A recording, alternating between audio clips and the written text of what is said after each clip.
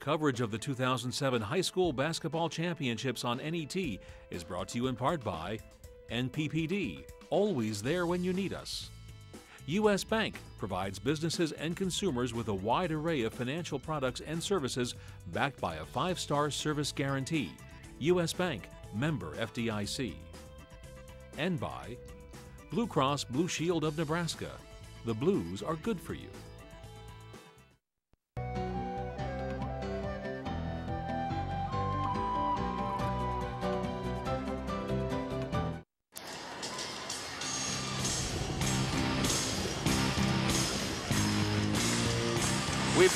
One other game today where the two participants had met twice before and split during the regular season.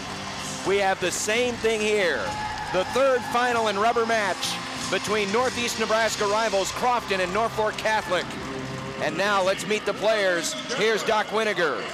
School Activities Association, its member schools, and U.S. Bank Welcome to the Bob Devaney Sports Center for the 2007 Class C1 State Championship game. Tonight's game features the Crofton High School Lady Warriors versus the Lady Knights of Norfolk Catholic High School. And now, let's meet the players and coaches competing in tonight's game. First, the non-starters for the visiting team, the Crofton Lady Warriors. Number three, Tara Harmelink. Number four, Katie Sage. Number 12, Maddie Larson. Number 20, Kristen Stefan. Number 22, Bridget Lancaster. Number 32, Molly Van Heek. Number 34, Brianna Winty. And now, the non-starters for the home team, the Norfolk Catholic Lady Knights. Number 10, Bailey Anderson. Number 12, Brianna Clayton. Number 20, Jessica Zaruba. Number 24, Callie Beller. Number 34, Jessica Boyle. Number 44, Sarah Monte. And number 50, Kylie Frederick. And now, your starting lineup for the Crofton Lady Warriors. A 5'9 senior number 5, Tierney Shoemaker. A 5'9 junior number 10, Nicole Van Heek. A 6'1 senior number 14, Amber Hagee. A 5'9 sophomore number 24, Caitlin Jones. And a 6'1 junior number 44, Morgan Wilka. Head coach for Crofton is Aaron Losing, assisted by Tiffany Panning and Dwayne Shoemaker. And now the starting lineup for the Norfolk Catholic Lady Knights. A 5'6 senior number 14, Rachel Berbicki. A 5'8 junior number 22, Nicole Brungart. A 5'7 senior number 32, Lisa Bellar. A 6 foot senior number 40, Kayla Ewing. And a 5'10 junior number 42, Blair Schomer. Head coach for the Lady Knights is Tim Kastmeyer, assisted by Lisa Anderson and Hillary Haybrock. Tonight's game officials are Ryan Bajanski and Brad Dahl and Heath Molnaric. The bench official is Ryan Speck. And now, ladies, let's play basketball. These two teams hail from Northeast Nebraska and are district rivals Crofton, two-time defending state champions with wins over Fort Calhoun in 2005 and Ashland Greenwood last year. They've only lost once in the state of Nebraska, and it just so happens to be Norfolk Catholic that handed them that one defeat. And Norfolk Catholic has only lost once this year in the state of Nebraska. It just so happens to be that Crofton was the team that beat them. But while Crofton has recent success, Norfolk Catholic is the perennial bridesmaid, it almost seems like, in 2003 and 2004, lost a pair of heartbreaking decisions in this game. Last year they didn't make it. Two years, or excuse me, yeah, in 2005, they didn't make it back to the finals. Last year, they didn't qualify for the state tournament. Now they're back, and they're more determined than ever to break the string and to climb that mountain and knock off their district rivals to do it. Should be a good game. These two teams know each other well, and they played very competitive games this season. John, you always like a good rubber match, and these two teams certainly know each other's tendencies. So this one's going to hit, hit a fevered pitch, I believe, tonight. The difference is, and, and, and they're playing in, the, in their third different facility. They played, I believe they played the game at Crofton in the regular season. It was either Crofton or Norfolk Catholic. The district final was up at Wayne High, or Wayne. Correct.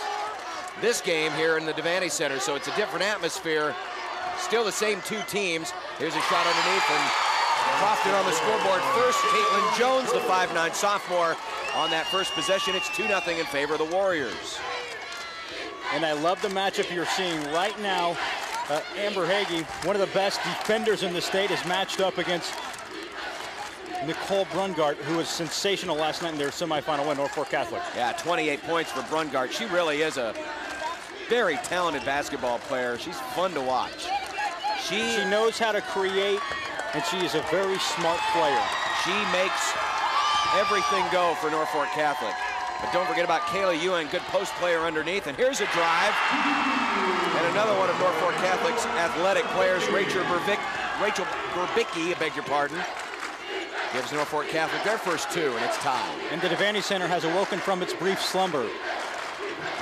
Yeah, the last game kind of took a little of the energy out, and that's going to be a travel. But the energy is definitely back. No doubt about it. Since the minute that tip went up. Well, they are they are rivals. They know each other well. And not only do they want to win a state championship, but they want to win a state championship by beating the other one. I mean, there's just something added to that. And we saw a little bit of that in the Class A game earlier today with, with Bellevue West and Omaha Westside. That the two teams know each other very well, and winning the state title is great, but to, to beat somebody that they have a healthy respect for, but a rivalry, rivalries, we get a five-second call, and Norfolk Catholic's going to turn the ball back over. Makes it just a little bit more special when you can do it against somebody that has caused you grief in the past. Adjustments will be very key in this ball game because you don't know what these coaches have in store. Obviously, it's not just going to be the same pattern that the previous two games have followed. I think both both coaches probably have a thing or two up their sleeve. So when those cards are played, you got to adjust. Amber Hagee took it in strong against Brungart, but no points. Near travel there. Look down low. And that was a block. Good block by Morgan Wilkin on Blair Schomer. Wilkin just standing her ground and going straight up. And Brungart, that was an incidental foul, but a foul nonetheless. She was losing her balance trying to switch back up and really didn't see Crofton's Morgan Wilkins standing there and just fell into her. Yeah, her momentum just carried her right into Wilkins, just an incidental foul. First foul of the game, a look down low. There's Wilkin. Posts up, but comes up shy. Here comes Brungart. Nice bounce pass from the baseline, and no. And Amber Hagee with the rebound. Hagee, 6'1", long, lanky, athletic, She's going to go to South Dakota on a track scholarship. She can jump like a antelope.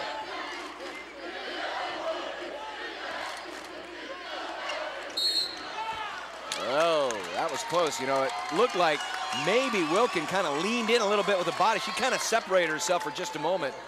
But they're going to call the foul on the defensive side. And that foul, I believe, is going to go on Ewing. Nope, I beg your pardon. It's Blair Schomer. That's her first.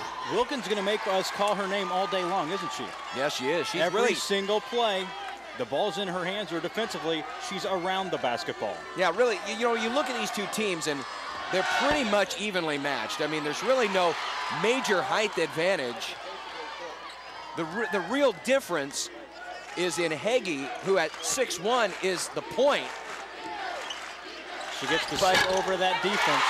Even though Brungart is not as big, she's very athletic, so that matchup in some ways can be a push. Because they bring different skills to the table or different advantages to the table. Ewing, she's shut off, now creates some space and throws up an air ball. And Wilkin gets the rebound. Four to two in favor of Crofton. Trying to become our second team to three-peat here tonight. Heggie and Brungart, they probably know every blemish on each other's face. they, they played so much against each other and have been face to face on the and every, basketball And floor. every time they play each other, they're looking at each other the entire game. Yes, they are. Nearly thrown away. Nice save by Shoemaker. Wow, she went flying into the Norfolk Catholic bench and kept it alive. Though Crofton comes away with no points. Well, Brungart didn't have the numbers, but she still felt confident in that shot. A little off balance, but a nice kiss. 28 points last night in the win over Fairbury.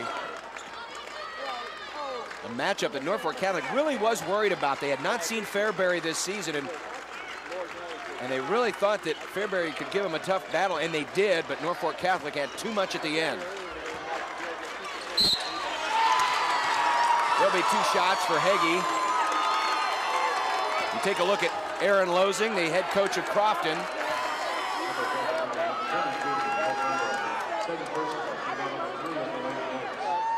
And that foul is the second on Brungart, so keep that in the back of your mind for a moment. Looks like she may come out here on this whistle as we get some mass substitutions. And nope, Brungart stays in. She's got two fouls. A lot of confidence as you take a look at the play. Tim Kazmaier, the head coach of Norfolk Catholic. Brungart's a smart enough player. She'll know when to back off. And Heggie's a smart player. She'll know when to attack. Absolutely. So you just hope that you catch a break here one way or the other. 3.31 left to go in the first quarter of the C1 championship.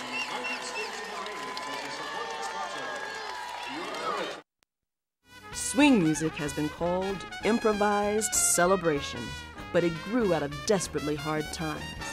Listen to the songs and the stories of the Great Depression in a musical history, Hard Times Swing. Coming soon to NET1. Programming provided by Nebraska Public Power District. Champions rely on strategy and talent. When challenged, performance must be strong. Goals must be clear. Commitment is everything. The Nebraska Public Power District applauds every contestant who practices with passion and fights for the win. Nebraska Public Power District, always there when you need us. Together with your local public power utility.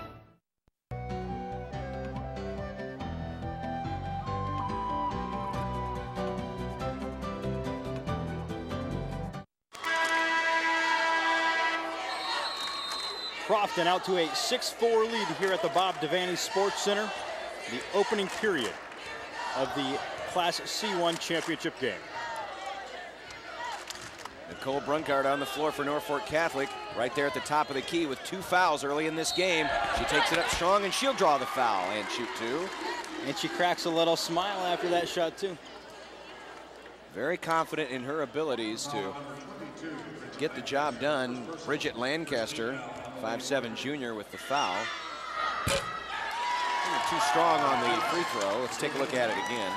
It's almost, it's, this play seemed like Brungart just wanted to draw the foul. You know, if the ball was going to go in, it was going to go in, but it was more so. She had three defenders. Somebody's going to get a hack in there. And Brungart will come out after the free throw. So Lisa Bellar comes in. That name very familiar to Norfolk Catholic fans. The head coach of the very successful football team, Jeff Bellar.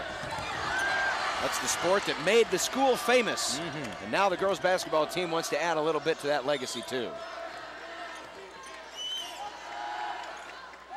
Outside the arc, it's Crofton. Up top, it's Molly Van Heek. They look down low for Heggie between defenders. Block on the first, foul on the second. Two shots coming up for Amber Heggie. Hard foul by Jessica Zaruba. Just trying to get a hand on the basketball. She had another one of her teammates kind of in the mix there as well. Heggie's fine. She went down kind of hard. Yeah, physically, she's not like a massive muscle, but she knows what to do. Shows what kind of gamer she is. She's, I'm sure she's very well aware that, like you said, she's not a massive muscle, but she's not afraid to get in there and make something happen. And it's good.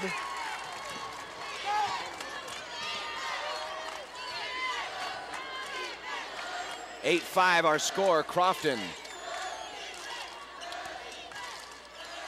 By the way, uh, we nearly had some national history made here tonight. We'll explain here in just a second. We'll let Norfolk Catholic move the ball around here. Jessica Zaruba has it. This is Jessica Boyle. And now outside to Bellar.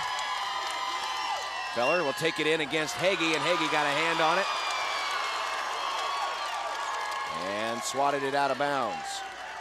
Alliance, in making 27 of 28 free throws, came up one free throw short of tying the national record for most consecutive free throws made in a game. A national record. And if you missed it, they weren't just makes. I'll take over half of those were nothing but net. Yeah, if, if you had to, if, if you had the uh, Simon, Randy, and Paula judging, you would have had you you would have had definite style points for Alliance. I can't imagine the national record holder, which I believe is Pueblo, Colorado. Pueblo, Colorado. I don't think they theirs had as much. I bet they used a lot more of the rim than Alliance did. That was that amazing. Game. And it was it was good to see the Crete fans even applauding that because everyone knew that they had not missed from the line. You think about that 27 straight made free throws. Unbelievable. So one shy of a national record, but you know what? National record aside, they'll take the title. Absolutely. Eight to five our score. Crofton with the three-point lead. Here comes a drive by Jessica Zaruba. That's excellent, her first two. Excellent adjustment in the lane by Zaruba. Keep in mind now, Catholic playing without their leader on the floor. Nicole Brungart sitting down for a respite with two fouls. Trap. Got to be careful. Get it away. Wide open. Down the floor. Yes. Good body control, too, by Caitlin Jones because Kayla Ewing did get back on defense. She was just a little bit out of position. And look at Ewing. Right back the other way with good little control Making up for the defensive mistake. 10 to 9 our score. Crofton leads by one. Final minute of play here in this C1 championship game. Norfolk Catholic running a little zone. It's interesting, they were in man-to-man -man when Brungart was on the floor. When she left, they were switched up to the zone. You know, Crofton is getting all basically all of their points in the paint here as Ewing throws up a air ball long two. So Crofton really attacking the lane, really attacking the low blocks and getting their points down there. Probably settle for one final shot Seven seconds quarter. left. Harmelink to Lancaster, one second left. Hagee, weak side, no. Good play though, really good play. They had the look, just no basket. First quarter's in the books. Crofton 12, Norfolk Catholic 9. This is the 2007 C1 Girls State Championship on 10-11 and NET. This is NET1.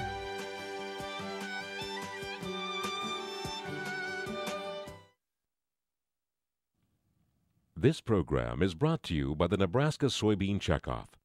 Soy biodiesel is a soy based, clean burning renewable fuel that can be blended with petroleum diesel to reduce America's dependence on foreign oil. Soy biodiesel, making a difference for Nebraska's soybean farmers and you. Programming on NET television is provided in part by Education Quest Foundation.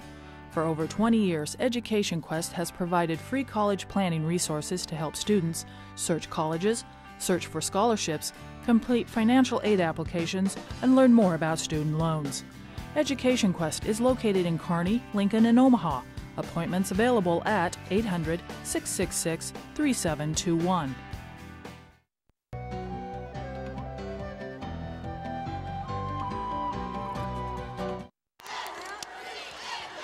The second quarter has begun in the C1 championship game.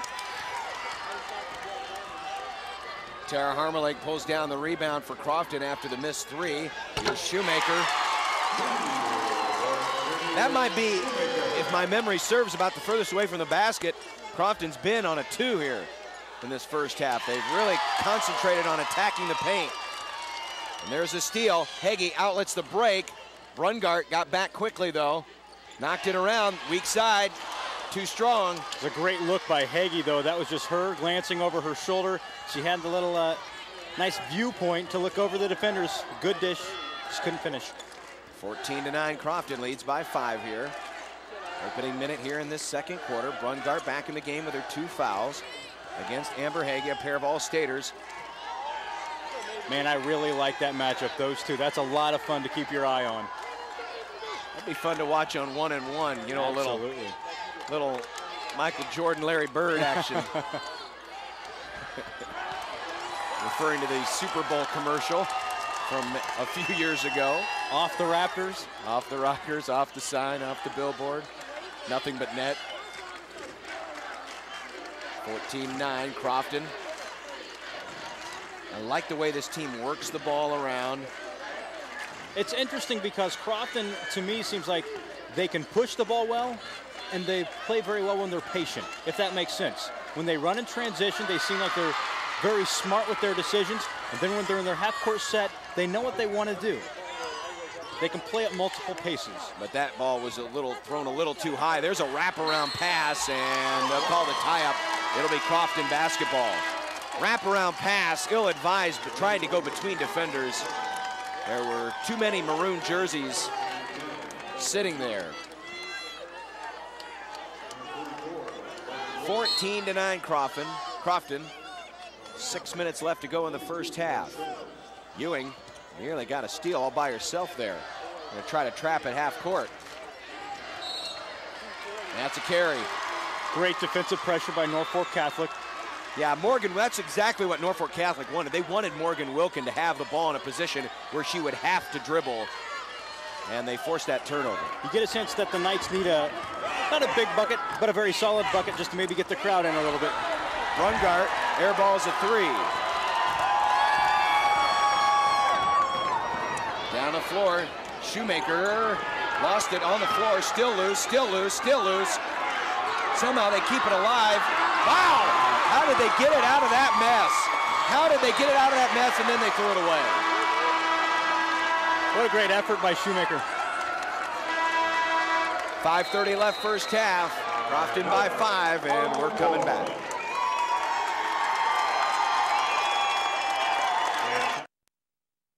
Programming provided by Nebraska Public Power District. Success is achieved through commitment. Commitment is the hallmark of champions. Champions are those who never give up. The Nebraska Public Power District congratulates those individuals and teams who persevere. You are all champions. Nebraska Public Power District, always there when you need us. Together with your local public power utility. This program is supported by U.S. Bank, serving Nebraskans for more than 100 years with a wide array of financial products and services for businesses and individuals.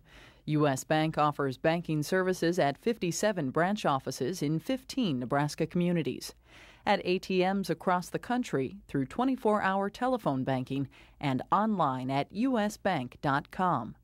U.S. Bank, member FDIC.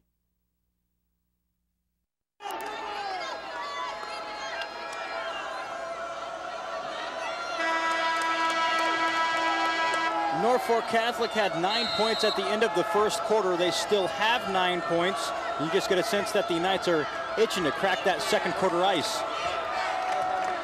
Amber Heggie will check in at the next whistle, next buzzer, I should say, for Crofton. Here's Brungart, lost it. Just plain lost it. Traveling. Tried to get a little too aggressive, running it up the floor. And the turnover against the Warriors gives the ball back to the Knights. 14 to 9. Been stuck on that score, it seems like, for just a little while here. Five minutes to go. Entry pass was denied, and that's going to be a reach reaching foul. Well, their last field goal came late in the first quarter. They've had a couple opportunities here in the second, though. Morgan Wilkin. I'd like to see a few more picks be set for Brungart. It seems like she's having to do a lot of the work on her own away from the basketball. Wilkin, that's her first foul. They'll go up top. See, Brungart's on the bottom of your screen just kind of making cuts on her own. Here she's looking to get around the screen. Great defensive stand here by the Warriors. Yeah, it is. And it's man-to-man, -man, too. There's nothing cute about this defense. And that's difficult to do, to have a good defensive stand in man-to-man. -man. It's not an easy task, especially when you're playing a team with the talent of Norfolk Catholic. Now they do commit the foul here. And I think that's going to go on Caitlin Jones. No, it is on Morgan Wilkins. She just picked up her second. First free throw is up and good by Blair Schomer. We'll take a look at it again here. Yep. Wilkin was pretty close to being just straight up. Maybe got a little too much of the arm. Second foul shot on the way.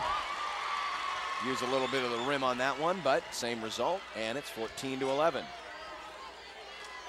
Catholic again wants to trap at half court. Good job of getting it out of the corner. And now a drive through, and that's going to be a traveling call. Nicole Van Heek. Van Heek just got a tidbit ahead of herself. She saw the clear lane to the bucket. So Norfolk Catholic has turned up the defensive pressure here a little bit, and it's thrown Crofton out of their game. They're still up by three, but it's a wavering lead. Four minutes left to go here in the first half. Brungart See, Brungart just trying to take the ball inside, but cannot just because of the good defense by Hagee. So go down low to Blair Schomer. She's got teammates that can score too. She's got four, and now it's a one-point game. Hagee's going to try to retaliate. Came up short, just inside the free throw line. And so Catholic with a chance to take the lead. Brungart takes it in and draws the foul. Hagee goes crashing to the floor. She commits her first foul. And Brungart got the better of that matchup. A nice run here by the Knights.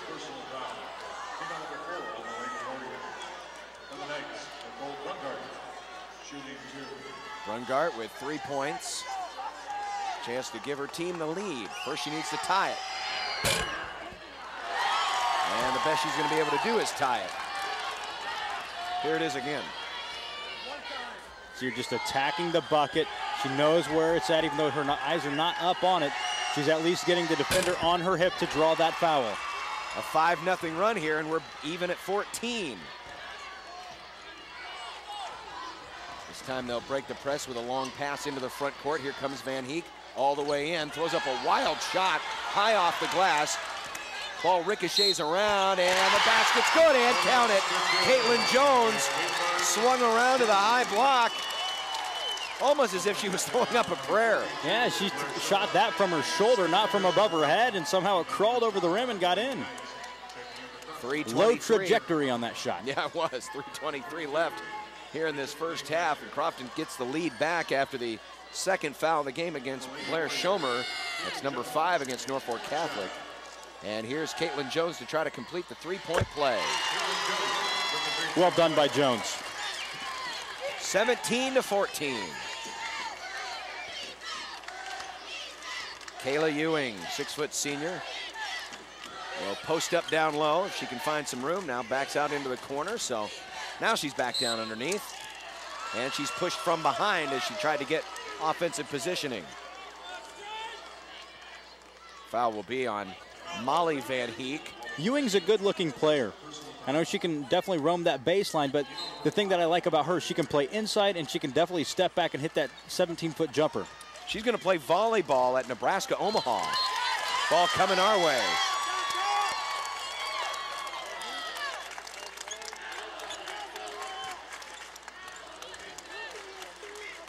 Seventeen to 14, three minutes to go here in the first half.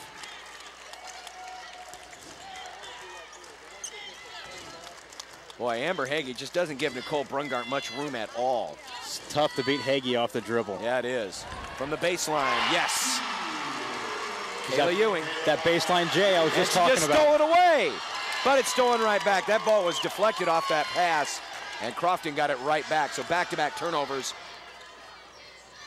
And Crofton will bring it into the offensive end with a one-point lead.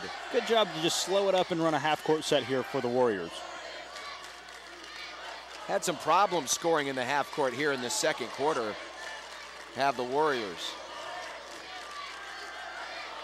Did get that three-point play a moment ago. Harmelink. Hagee's been quiet here in the second as well. She's uh, stuck on four points right now. I think she lost that ball, and they're going to reach around for it. Tie up. And Norfolk Catholic will get it on the alternating possession. Rachel Verbicki was the one that would just stuck her hands in there and knocked it away from Hagee. We're going to have a timeout with two minutes and two seconds left in the first half. Coming back with more of the C1 Championship after this.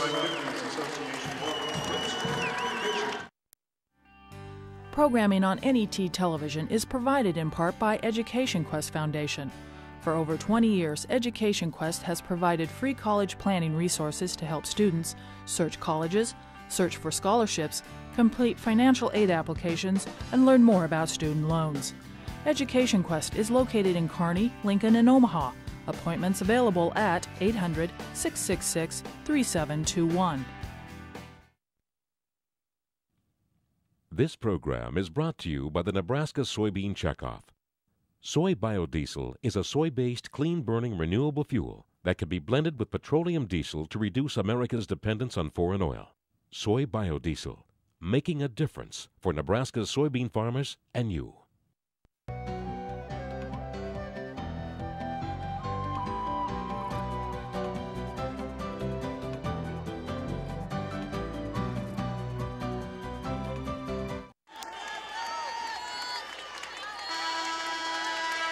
It's the slimmest of margins. One point difference between Crofton and Norfolk Catholic in the C1 championship game. I'm John Bishop along with Kevin Suits, and our sideline reporter tonight is Lance Schwartz, and we want to send get well wishes out to our normal third member, Kyle D'Elia, who has been under the weather here for the last week or so. Couldn't be here with us tonight.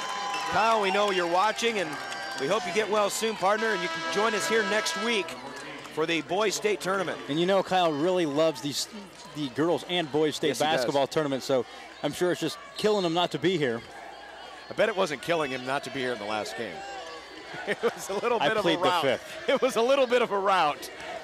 Yeah, but Kyle, get well, buddy. You bet. Nice passing down the floor, but good help defense rushing back to knock it out of bounds. And so Crofton tried to pass their way down the floor, almost successful, had it not been for the athleticism of this Knights bunch. In the corner, there's an open three. Yes! Tierney Shoemaker. Just coming off a screen on the baseline, got free and give her just a little bit of a window. She's going to hit that tray. 20 to 16. Crofton now with a four-point edge. This is Jessica Zaruba. Norfolk Catholic's going to be content here for a moment.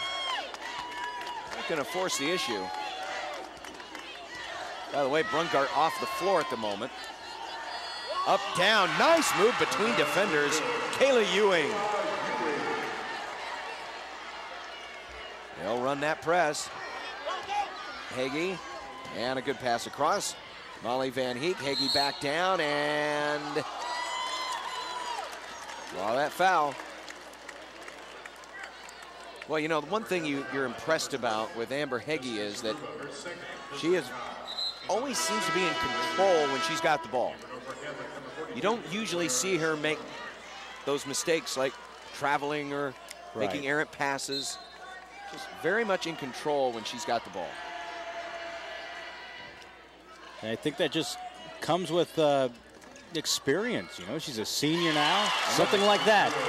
She could have easily been well out of control, but was poised, a little runner, nice kiss off the glass. You're just creating your own shot. That's all she's doing right there was creating her own shot. But most other players at this level will, that's more of a prayer, but not for Hagee. Right. 22 to 18, final 20 seconds of the half. Ewing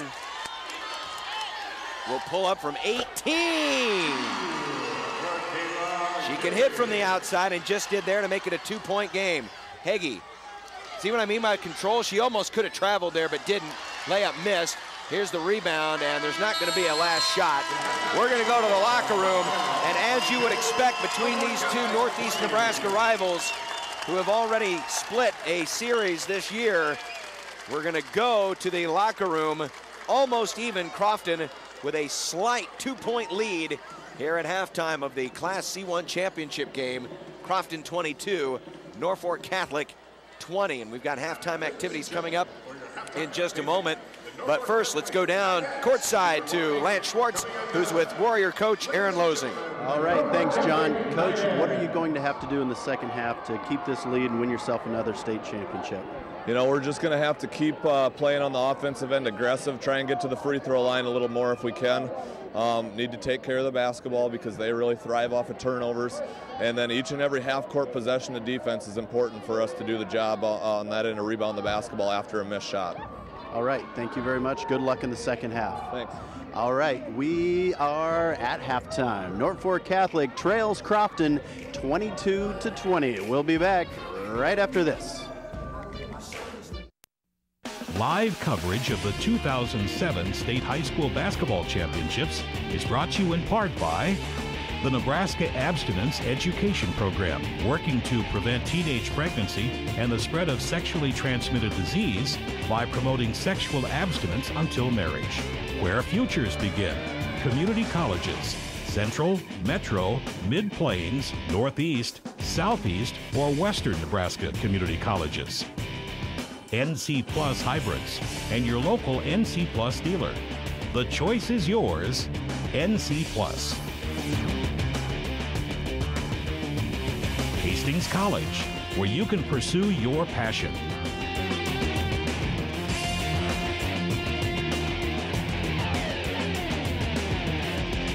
ONEOK Energy Marketing. Natural gas from ONEOK. Always a warm welcome.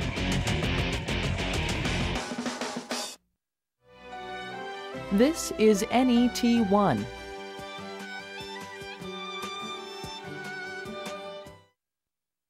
This is Terry Gross, the host of Fresh Air on NET Radio.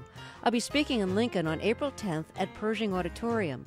It's a benefit for NET Radio and Television. For tickets, call 402 441 7766.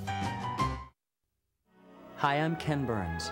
Public television has made a difference in my life for as long as I can remember. It's been the place, the best place, to celebrate the stories that unite us all, the stories of America.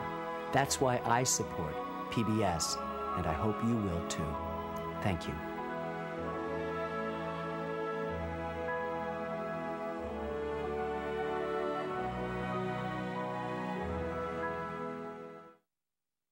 Next time on Nature. One. It's like a drug, you have to have it. From common carbon to super substance, the journey of the diamond. Diamonds are forever. Coming soon to NET1. I always tell people it's one of the most amazing wildlife experiences that they'll ever have. You can look up in the sky, and every single square inch of the sky above you will have a crane in it. I've studied hundreds of species of birds, really, but just the thought of, of seeing the cranes in the spring, I can hardly wait. Coming soon to NET1.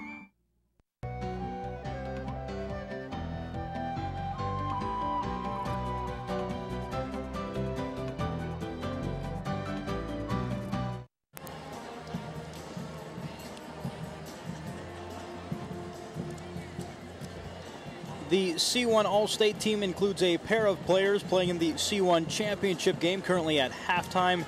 Nicole Brungart and Kayla Ewing of Norfolk Catholic actually make it three because you cannot leave out Amber Heggie. You know, you look at that team and, you know, you've got a couple of players in Brungart and Heggie and Emma Frost Briley. They can, they can run the point. Kara Anderson's a great post player. And uh, Kayla Ewing could play a good power forward position. That's a balanced lineup. That's a really good it. team right that there. really is a good team. I wasn't looking at our list in that terms, but uh, you could certainly do that. I, you know, because sometimes, you know, when, when coaches vote on these teams, it's just pick the best five players. Correct. But it's almost as if the coaches realize, okay, let's slot somebody in here and let's slot somebody in here and slot somebody in here. They've, they've really put together a fine bunch. So there's a lot of good talent in C1 this year. And Nicole Brungart, Kayla Ewing, Emma Frost Briley, Kara Anderson and Amber Heggie, all members of the coaches all-state teams. Congratulations to all who uh, made it again this year. And for Brungart and Heggie, it's, uh, it's definitely not their first. 22 to 20, Crofton leads Norfolk Catholic at halftime. We'll come back and have a look at the numbers.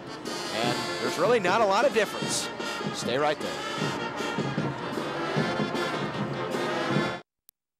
What would you consider to be the worst investment you've ever made? The worst investment I ever made? Mm-hmm. How long do you have? The world's richest billionaires, Warren Buffett and Bill Gates, give students advice on how to get a job, how to find success, and how to help change the world. Coming in March to NET1.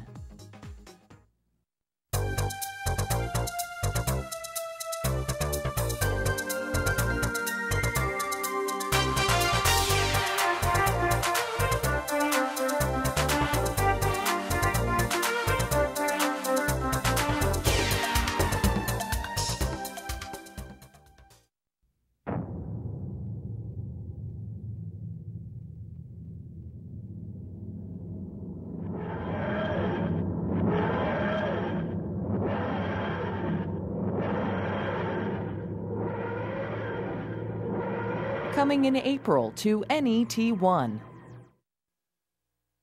Programming is provided in part by Blue Cross Blue Shield of Nebraska. Escalator or stairs? It may seem like an easy choice, but the hard truth is the illness and disease that result from inactivity cost about $76 billion a year to treat. At Blue Cross and Blue Shield of Nebraska, we believe that cost is much too high, and not just in terms of money. So when it comes to keeping you healthy and keeping healthcare affordable, walking works. Your health, your choice. Coverage of the 2007 High School Basketball Championships on NET is brought to you in part by NPPD, always there when you need us. The Nebraska Soybean Board, encouraging the use of renewable biodiesel fuels for a healthier environment. For information, nesoybeans.unl.edu. And by Education Quest Foundation, improving access to college through scholarships, grants, and college planning services.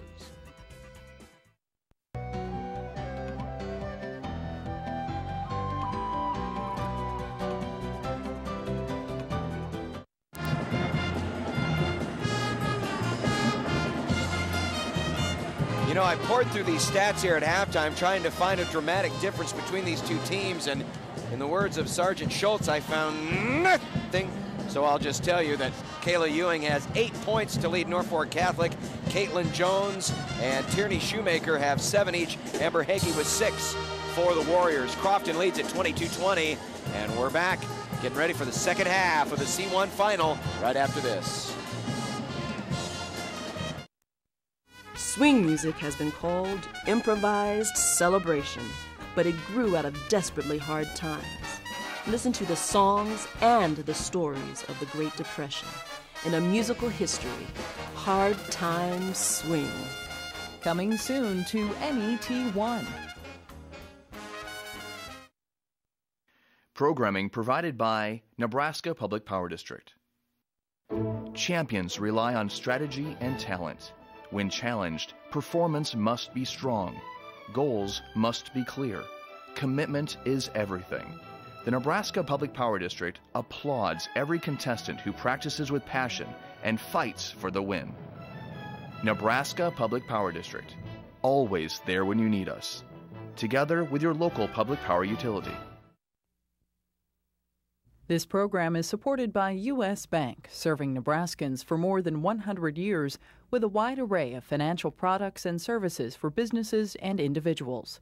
U.S. Bank offers banking services at 57 branch offices in 15 Nebraska communities, at ATMs across the country through 24 hour telephone banking and online at usbank.com.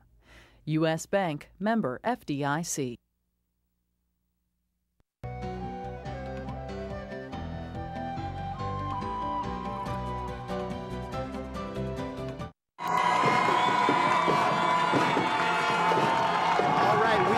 The Bob Devaney Sports Center. And coach, you find yourself down by two heading into the third quarter. What was your main point of emphasis at the break? We got to try to limit them on the offensive rebounds right now. I believe they had seven points off the offensive rebounds, so that's a big part of the lead right now that they have. So if we can get that done, that'll be big for us. And then we got to keep taking the shots we're getting and be able to finish them. All right, thanks a lot. Good luck in the second half. All right, thank you. All right. We will return for what proves to be a doozy. 20 to 22. Crofton leads Norfolk Catholic.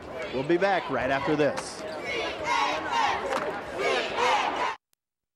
On Nova, the U.S. invades Iraq with a new theory of war accomplishing the greatest effect with far less force. and the weapons of the future.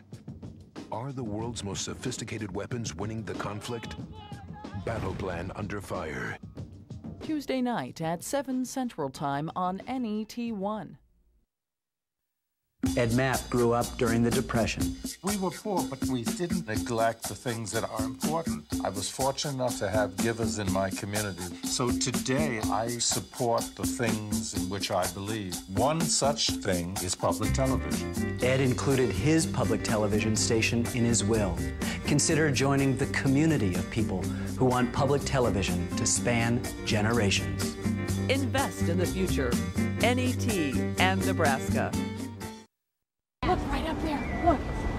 Television would like to invite you to the premiere of Crane Song, a beautiful high definition program produced by NET Television about the habitat of the Nebraska sandhill cranes. This special night includes dinner and the screening of this remarkable program. Mark your calendars for Sunday, March 11th at 6 p.m. at the Interstate Holiday Inn in Grand Island. Tickets are $50 and benefits the NET Foundation. To reserve your seat, call 800 634 6788.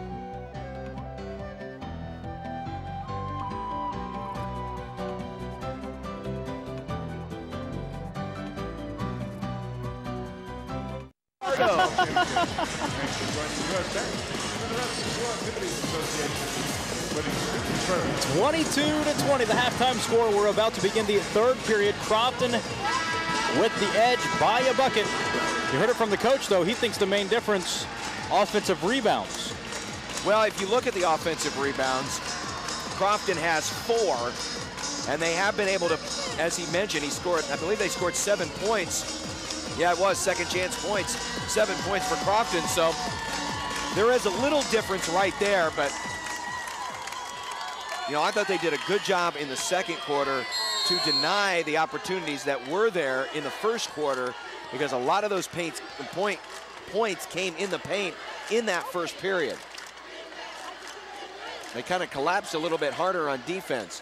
Here's Norfolk Catholic to the line and one. I was just getting ready to say these next three minutes will be very important to today's outcome.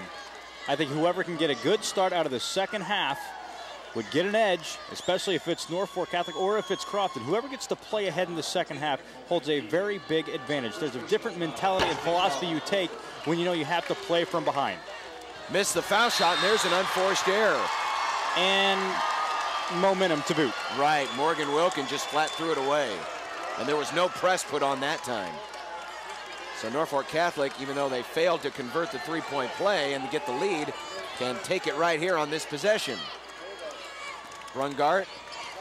She got a little bit of time to break it. Amber Hagee not only stole it from her, but then grabbed it out of the air. You don't see that very often. No, you don't. It's a great block. Just those long arms, that big wingspan. And because of that, she can shoot over the top of the defense. And adjust a little bit in the air. She went up straight and then had to adjust, tilting to the right just a hair. She just knows what to do with the basketball when she has it. Has an innate ability to do that. Natural talent. Blair Schomer to Rachel Verbicki outside. Ewing. Ewing will drive in, and that's going to be a walk. Turnover against Norfolk Catholic. John, you know you hear coaches say a lot of times about players finding out their, discovering their body. That may seem kind of like a strange term, Yeah. but what they're trying to say is they understand what they can and cannot do, and they keep their limbs in the right spots at the right times. And this is exactly what you're talking about with Amber Hagee. She knows how to maneuver her body, create, and work in space. Wow, slam that against the backboard, and we got a foul. And off the dribble, you saw Hagee start that set by just off the dribble, the bounce pass. Got it down low, and now because of that, here's Caitlin Jones to shoot two. Remember, Jones had that big three-point play there in the second quarter that gave the Warriors a bit of an edge in the first half. You know, Jones has played above herself in terms of average in this state tournament. She averages seven. She's got eight points here today. She's averaged eight points through two tournament games, so she's been a big part of this Crofton attack. Four-point lead for the Warriors. See what Catholic can do to respond.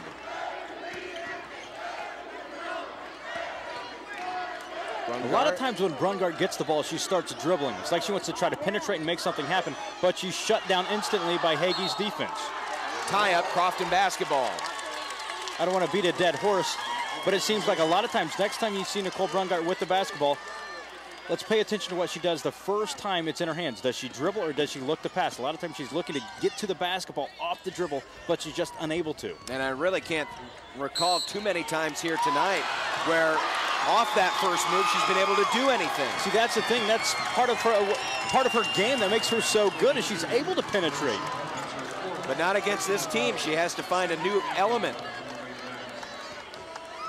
But there are, there are those times when you do penetrate that you get the defense to collapse, and then if you know where your teammates are, you can dish it and get points that way. So, But you got to get inside first to start dishing. That's right.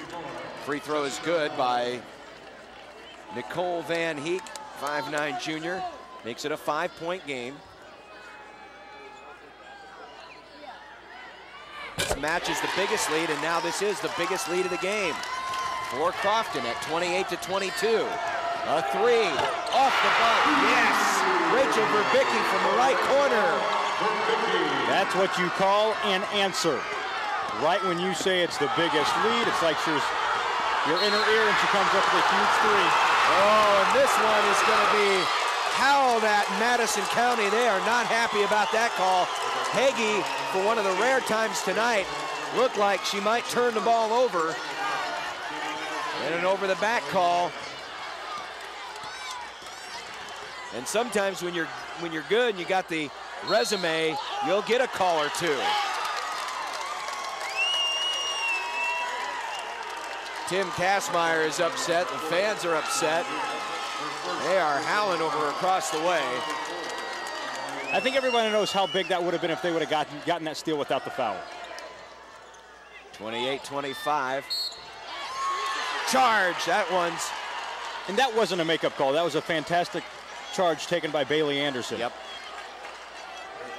It's a little, uh, little physicality, as Bill Callahan calls it, here in this third quarter.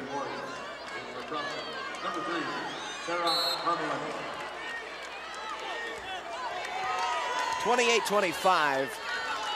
Crofton in the maroon jerseys, Norfolk Catholic in the home whites. Looking for their first girls state basketball championship. Here's Zaruba, pull-up jumper, and she airballed it. Missed everything. Oh, poked away. Brungart started that. Ball rolling out of bounds. And trying to save it, Jessica Zaruba flicked it out of bounds. Everybody getting hustle. on the floor. Good hustle. Everybody getting after it. Even though Norfolk Catholic didn't get the ball there, their fans are on their feet. A lot of energy for the Knights right now. Over in the corner, it's Shoemaker. They'll look down low. Ewing rejects that out of bounds.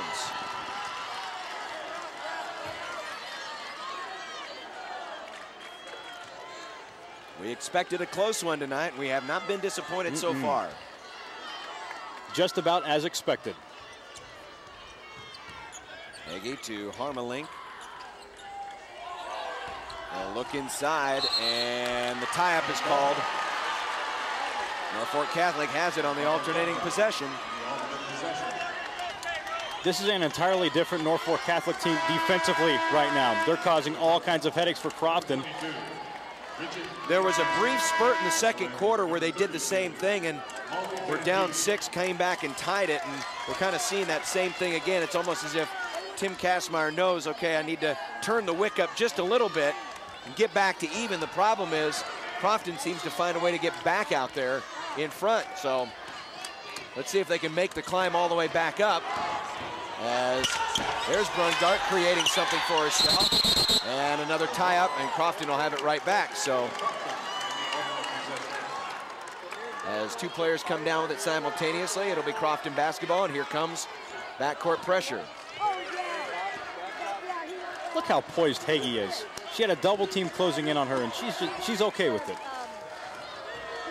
And they'll move it into the front court. Down low, she's fouled. How solid has Caitlin Jones been today? She's been really, really solid. You look at her, she's got nine points. She leads all scoring in this game. And again, we mentioned that she's above her average. She's averaging seven points. Looking to get double figures, and she does.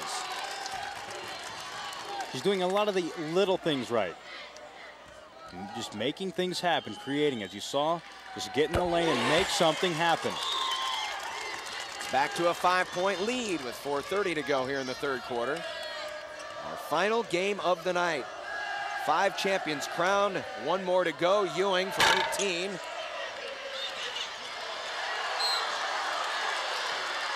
And the foul I believe that might be Norfolk Catholic's first offensive rebound of the night.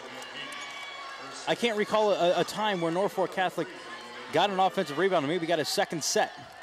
That's actually, it's actually their, it's their third. They had two in the first half. They were team offensive seem, rebounds. Seem very sparse in, in no, terms of. They have been. They have been. No question.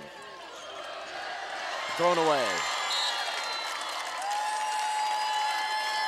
Well, as Jim Tenopir told us during our pregame interview, the attendance would be down this year because of the weather, and it is. Final attendance total for this weekend, 41,781. That's a, a little less than 13,000 shy of where they were last year.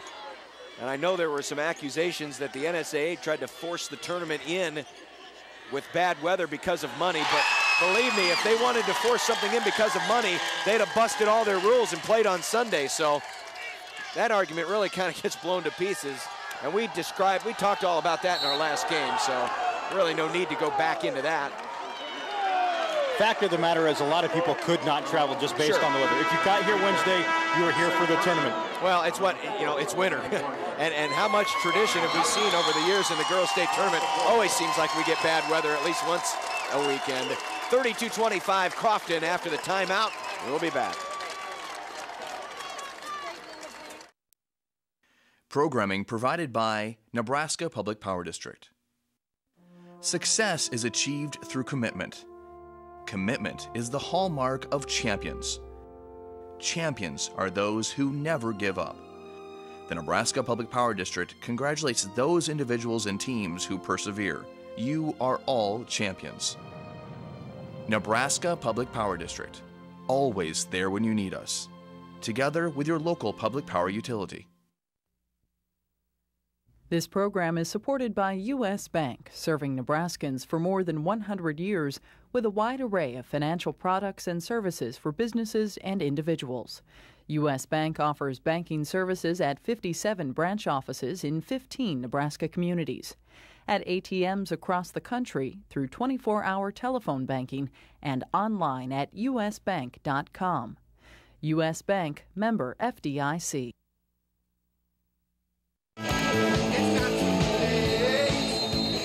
Seven point lead, the largest lead of the ball game for Crofton. 3.43 to go in the third quarter. Brungart off the inbound, long three, short.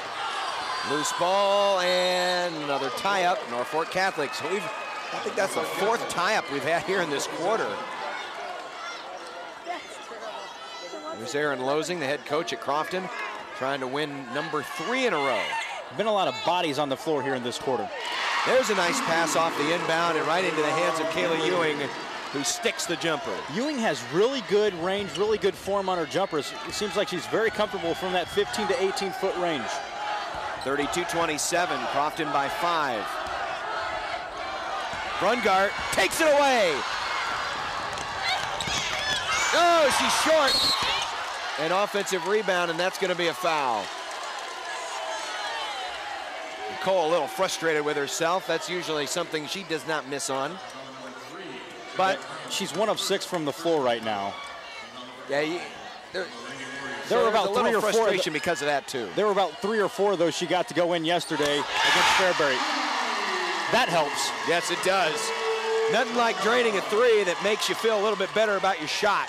And now it's down to a two-point game. So a five-point run here for Catholic. Good to oh. see. Good to see her come back with that three. Her previous three was pretty short. 32 to 30. Less than a minute ago, we were just saying it was at the largest lead. Now it's a two-point contest. Down low. No. Rebound, Brungart. She wants to run. All the way in. Nice feed. Tie game. Brungart to Zaruba. That was beautiful. She drew the defenders in, kicked it across. Tie ball game.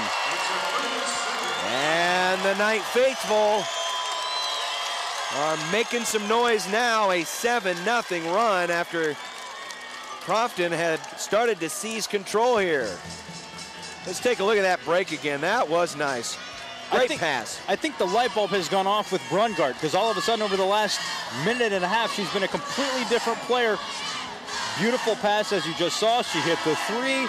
Even though she didn't get that one layup to go in, go in, she got the steal that set that whole sequence up. Well, it's she's struggled when her team's been setting up in their standard offense.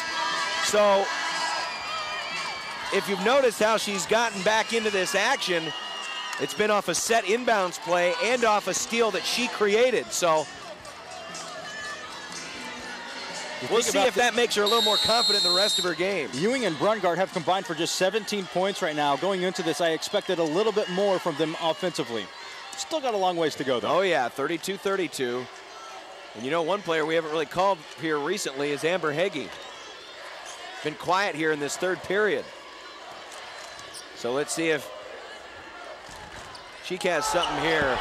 Shot up, no. Rebound put back, no. Foul, and we'll have two free throws. And to the line is Nicole Van Heek. That foul is already the 16th foul here in this second half against Norfolk Catholic.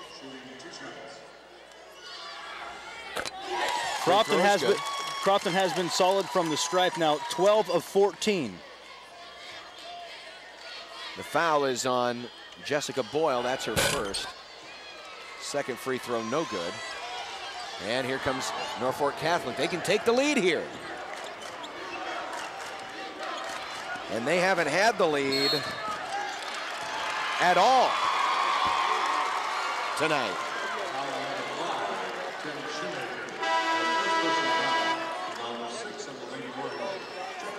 Checking in for Norfolk Catholic is Lisa Bellar.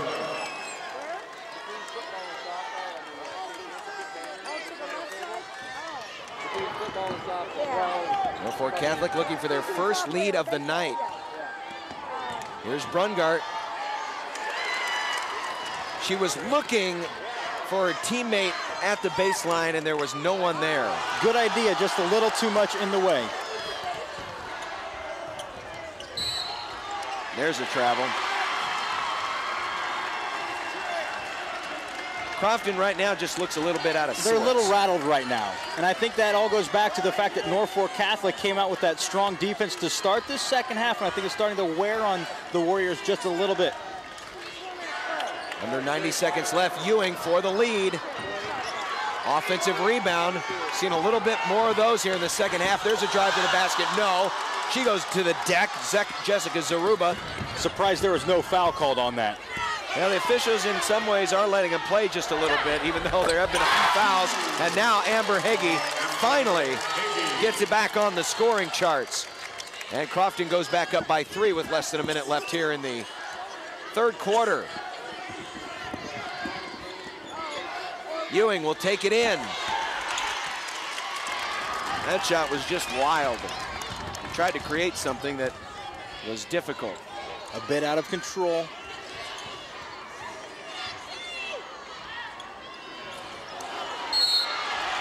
Foul over the back.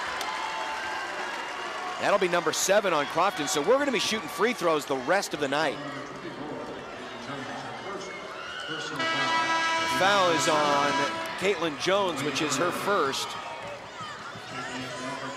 And so to the free throw line goes Jessica Boyle, 5'7 junior. No points tonight.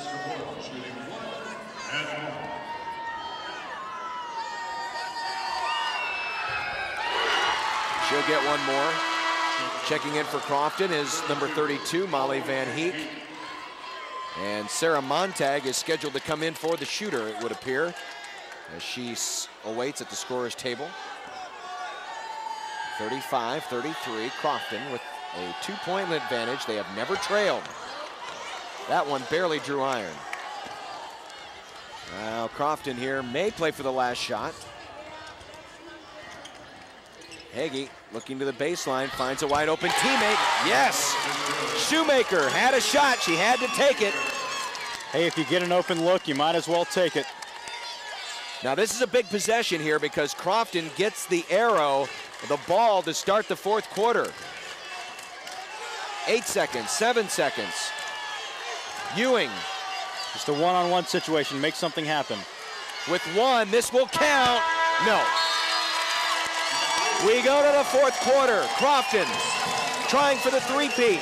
Leads Norfolk Catholic 37 to 33. The fourth quarter is next on 10-11 and NET. This program is brought to you by the Nebraska Soybean Checkoff.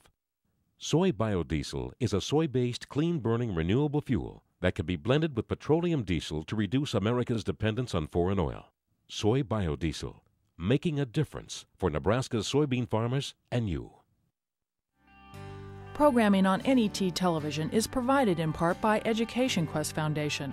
For over 20 years, Education Quest has provided free college planning resources to help students search colleges, search for scholarships, complete financial aid applications, and learn more about student loans.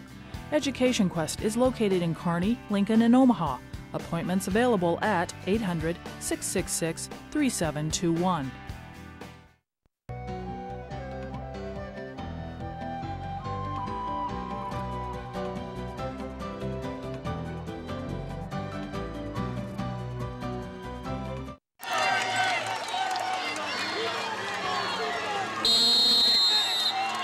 Thirty-seven, thirty-three, eight minutes to play in the final championship game of Championship Saturday. Crofton ball, as we mentioned before the break. They would have it to start this fourth quarter. Heggie. Shoemaker. And that one hit. No, it did not hit the top of the backboard. They let him keep playing.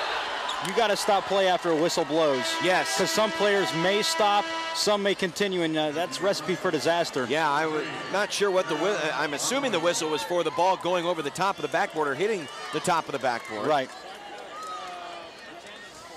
Just glad glad that everybody got through that without any injury exactly. or any, any harm done. Good point. Or worse yet, a cheap basket or something exactly. that shouldn't have happened because of an inadvertent whistle. The game's too close for something unfortunate like that to happen. All right, we're back to action with a four-point Norfolk Catholic deficit. Turnaround, little spinner. And Crofton with the defensive rebound. Norfolk Catholic has had opportunities to take the lead in this game, but has never led. We were tied for a small spell in that third period. There's a three. Yes! Kara Harmelink makes it a seven-point game. Her first basket of the ball game came and at a good time. Hagee blocks Brungart. And a foul. Brungart wanted to come back and hit a retaliation three real quick, but Amber Hagee got her fist in front of it.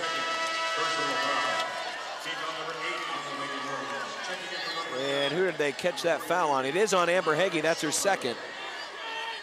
It was after the shot was blocked, so Brungart goes to the line to shoot one and one.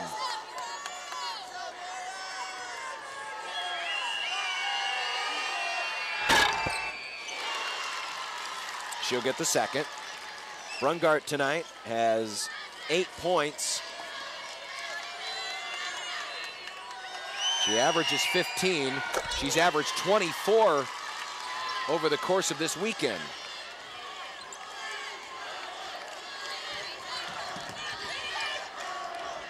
Crofton again, again does a good job against the press. They do. It, they, they get it in some uh, not so safe spots. They get it right around the timeline and they stop on the corners, but those skip passes have bailed them out a couple times. Well, in that time, Norfolk Catholic's defense bailed them out. Down five here. Rachel Verbicki shut off. And an errant pass, and Amber Hagee comes away with it for Crofton. Six little, minutes to go. A little miscommunication offensively for Norfolk Catholic.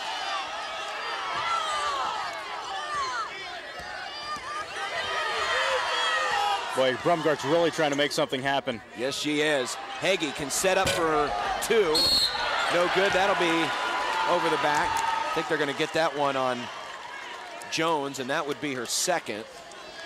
Now, here's the good thing for the Knights. Yep. Something like that, they get to walk down, shoot a couple free throws, and no time is going to come off the clock.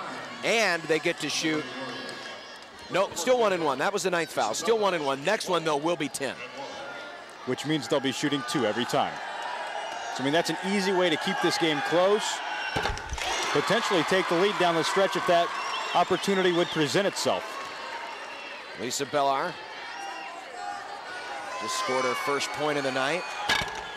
In and out, and almost got the offensive rebound, and touch last out of bounds by Crofton, so Norfolk Catholic keeps the ball. You know, it seems like every time Crofton does just that little spurt, Norfolk Catholic does a retaliation spurt, comes back and tightens it back up. It's just been an accordion all night long. 5.41 left to play. Crofton leads it by four. We're back.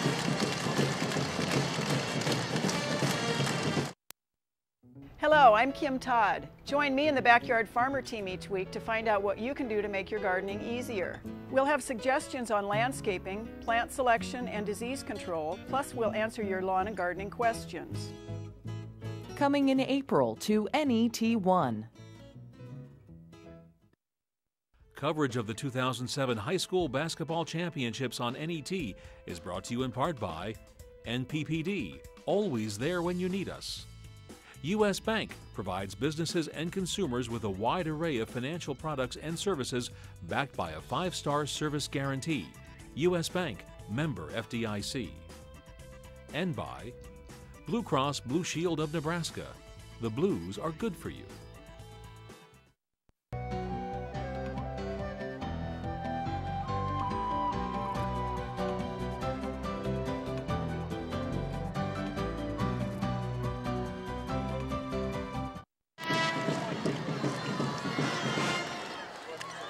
42-36 the score. Crofton over Norfolk Catholic in the C1 championship game. Five minutes, 41 seconds to go. Or for championship action will come to a close. Here's Brungart. And one! I think she cracked a bit of a smile there. Morgan Wilkin with the foul. That's the 10th foul on Crofton, and just like that, Norfolk Catholic is within two with a chance to make it one right here. I think we know what Tim Kazmaier said in that timeout. Nicole, get it to the hoop. Wow, Amber Hagee had to catch that ball behind her, and that was close to a turnover. Crofton leads by two. They always seem to have an answer for Norfolk Catholic's answer, and it's Hagee. And she tries to create something else, and there'll be a one and one shot here. So Crofton will go to the line. You know the thing is, John, Norfolk Catholic has just been nipping at Crofton's heels all night long, but Crofton has just, there's a half a step ahead on the scoreboard, that is. Makes you wonder how Crofton would respond if they were to fall behind. Absolutely.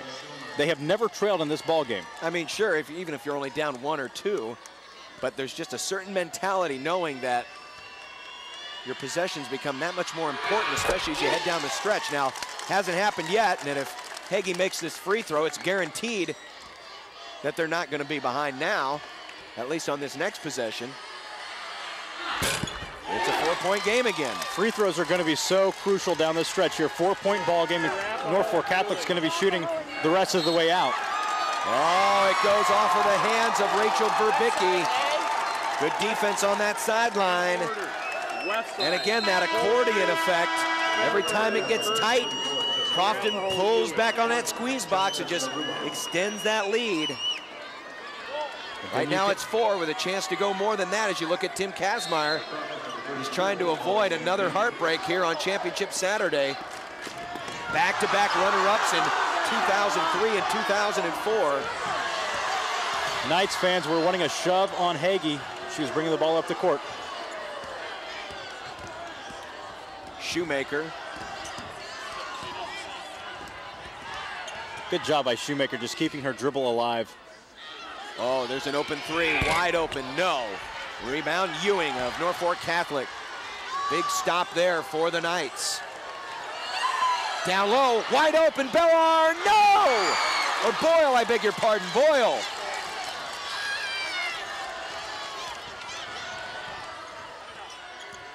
Forty-two to thirty-eight.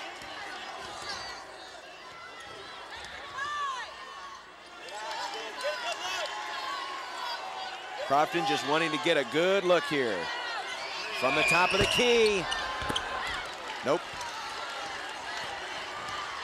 And Ewing will bring it back down the other way for Norfolk Catholic, and Tim Kazmaier wants a timeout.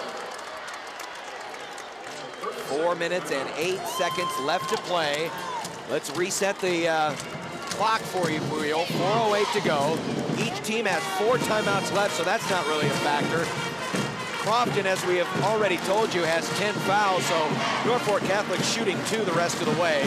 Norfolk Catholic has seven fouls, so Crofton will have to shoot the one and one a couple of more times. And as far as foul trouble is concerned, really there's no one in any real danger. Brungart's playing out there with three, but no one in real danger of fouling out of this game. The Knights have the ball. The, a couple recent possessions they have. One resulted in an unforced turnover. Another uh, resulted in a the missed opportunity down low right. for Norfolk Catholic. So they've had a couple chances here, trying to stay nipping at the heels. Remember, last time they came out of a timeout, they had a good game plan, went right to Brungart, and Brungart took it to the hole.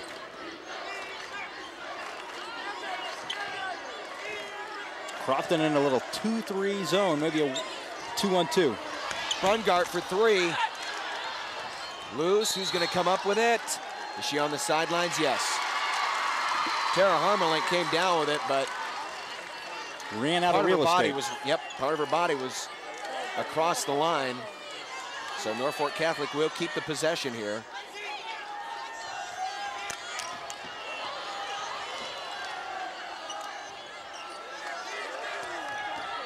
Yeah, the lane was open for a drive there. There's an offensive rebound. Brungart, yes, she gets the roll. It's down to a two-point deficit. This game, in many respects, is a microcosm of Norfolk Catholic's struggles here at the state tournament. So close, but they just can't finish the job. Now they've got an opportunity to do both. After the miss, here comes Brungart all the way down the floor, but defenders. She'll go to the line to shoot two. Crofton fans wanted a charge, not going to get it. That could have gone either way. Yeah, it could have. It was close. Aaron Losing thinks it should have gone his way. Of course, he's a coach. You bet. so here's Nicole Brungart. One more and we're tied. Let's take a look. You be the judge. We'll let you play the official now. Well, Brungart, I, th I think the defender was falling back a little bit. She wasn't exactly set, so I'm going to have to agree with the official's call. And you don't always have to be set. Just have to have a solid charge. position. Right. But I don't know if she had that. I think she was leaning a bit too much, still trying to establish that position, or maybe give way with Brungart's momentum as she was going towards the hoop. So here we go. And it's a tie game, and now Norfolk Catholic, Brungart to take it down. The feed, the shot. Norfolk Catholic takes their first lead of the night. Rachel Verbicki, and a timeout for Aaron Losing.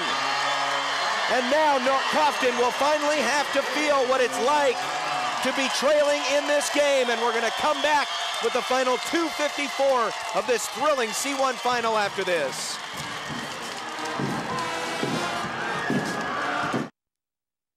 Programming provided by Nebraska Public Power District.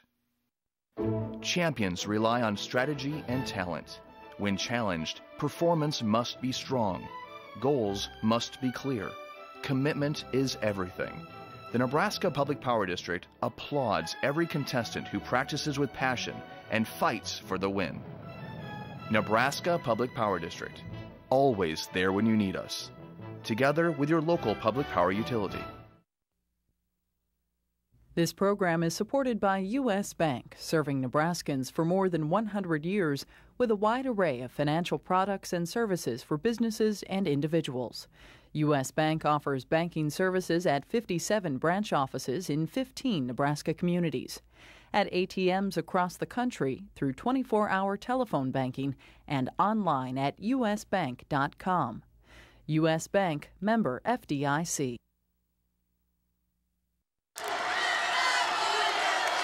Off the Brungart steal, Verbicki scores, and for the first time of the night, Norfolk Catholic is on top of Crofton, 44-42. Now, how will Crofton respond as we are getting late in the night? Heggie, the All-Stater takes it in and will draw the foul. She'll go to the line to try to tie it up. No surprises there. The ball went exactly where I'm sure everybody in this building thought it was going to go.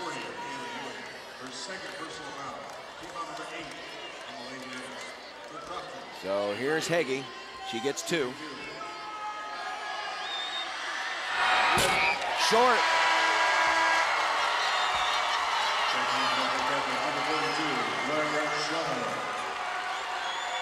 Blair Schomer checks in for Tim Kazmaier. Second one is good.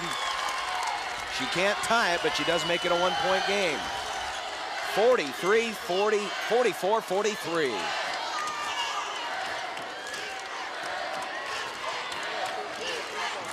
Zaruba to Ewing.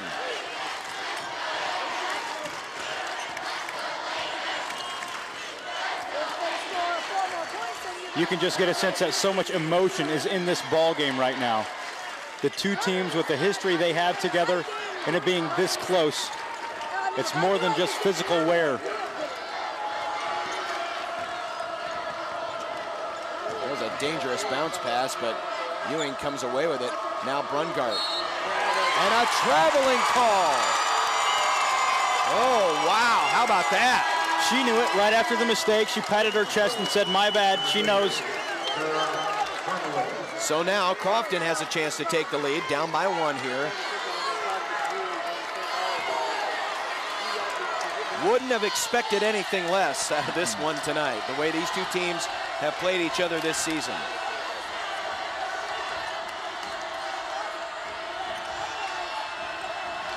Heggie wants that ball, and she travels! The first time tonight, and Aaron Losing can't believe the call. Instantly, he was on his uh, on his microphone, so to say. His microphone that goes directly to the official's ear. Exactly, and he's going to burn a timeout here. Leaves them with a couple left. Norfolk Catholic still has four, so 92 seconds left. Norfolk Catholic with a one-point lead and the basketball.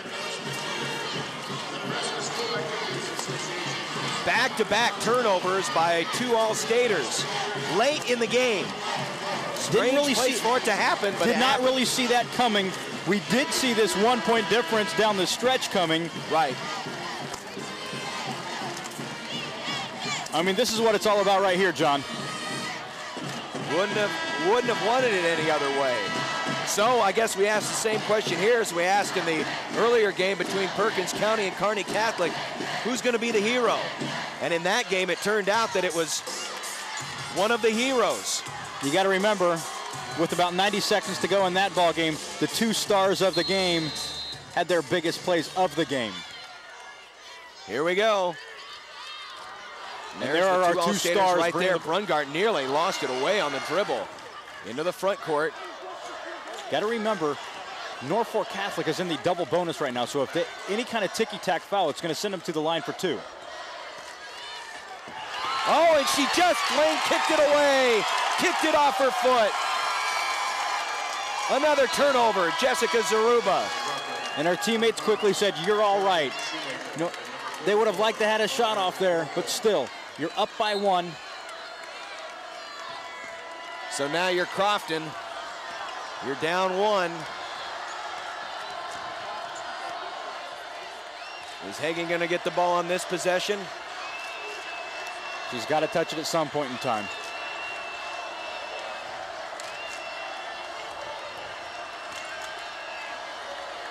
Here she is. Nope, to the baseline jumper. Too long. Missed by Jones. Here come the Knights. 45 seconds left. She stepped on the sideline. She stepped on the sideline. Just after, just before what looked to be a foul. Well, it looked like that double team was closing in, and I'm sure she probably put her head up at the wrong time. She saw that second defender screaming right at her, caused the toe to go on the baseline. Now, what do you do here? You got 39 seconds left. Do you just play for the last shot? Absolutely not. Aaron Losing's going to call the timeout. That leads me to believe that he's going to set up something here to hold the ball and maybe play for the last shot. What I'm going to do if I'm Aaron Losing is I'm going to try to get off a shot with about 10 seconds left. Because if you get a shot off with 10 seconds left, the window is still open for that putback. And you got to remember Crofton has been pretty solid on the offensive glass tonight. So don't count yourself out. Don't limit yourself just to one shot. Make sure if that shot is taken that there is enough time that you can A, try to get a second shot off if you get the offensive rebound, or B, get a quick foul so there's still a window of opportunity that you can maybe get the ball back after free throws. Now, if I'm Norfolk Catholic, I'm going to keep doing the same thing I've been doing all second half, and that's keep putting pressure out. Don't let Crofton just stand out at the center and hold the ball. Come out, put some pressure on, maybe take a chance. Could it open the opportunity for Crofton to get a layup? Okay, maybe it could, but there should be plenty of time left for Norfolk Catholic to get a shot of their own. But I've got to play the defense that's gotten me to this point and has put me in position to win that elusive state championship. I That- don't let Crofton, I don't let Crofton bleed the whole clock here. That would be a championship effort. What has got you here is aggressive defense. Don't leave your championship effort. Let's see what they do. Go after it. So far, watch Hagee. Stolen away! Brungart came up with it! The baseline pass was stolen away! And now Nicole Brungart goes to the line to shoot two free throws. If she makes them both, it forces Crofton to make a three. Brungart came down the lane. She was weak side help. She came flying down the lane. Watch where she is. She's going to slip right in. With the steal, she's at the line now. The biggest free throws perhaps of her career right here. Not yet.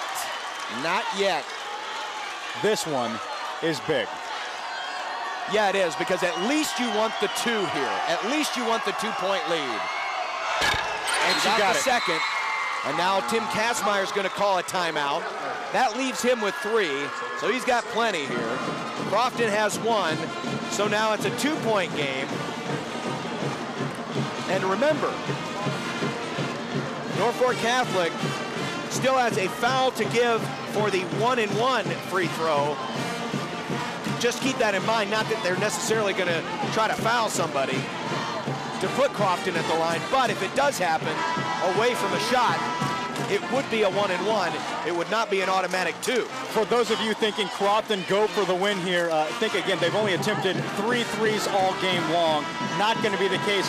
What I do expect, though, is maybe get the ball into Heggie on the high post because when they do do that, they've had success finding a baseline jumper. So it doesn't necessarily have to be Heggie taking the shot, just her having the ball in her hands. Remember, she's got that height and she can see over the defense. She could possibly set up one of her teammates for an open look. This is it. Here comes Crofton, 20 seconds left, trying for three in a row. They're down by two, 15 seconds left. Needs to find a teammate, 10. A look for Heggie with eight, off the glass, too strong, offensive board, no, but a foul! Oh my! If that goes in, it's a three-point play opportunity for a chance at a win. Now it's pressure-packed free throws just to tie for Morgan Wilkin. And 5.7 remaining on the clock. And Wilkin has yet to score, and she is 0 for 2 from the line. And Norfolk Catholic will take the timeout. Wow, it doesn't get any more pressure-packed than that two free throws. I think that's tie. what that lady's saying. Yeah. My goodness. What a frenzy here in the final minute. We knew it was coming. We just once that moment arrived, what was going to happen? Now, if you're Norfolk Catholic, the first thing you have to do is box out.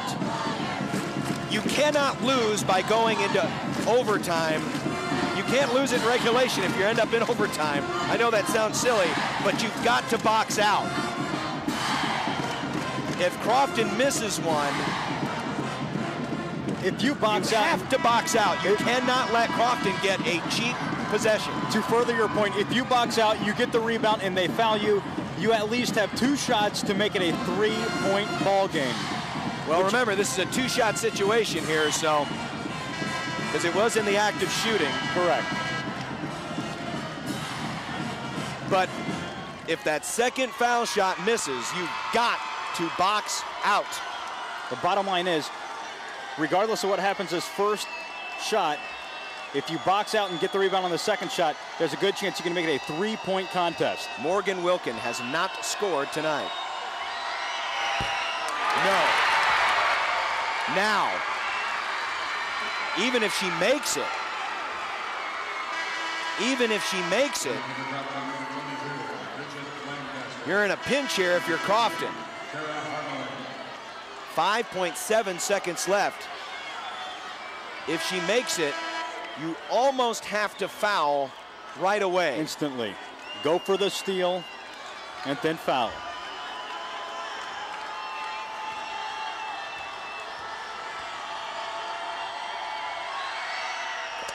All right, it's a one-point game. Excellent substitution by Coach Losing.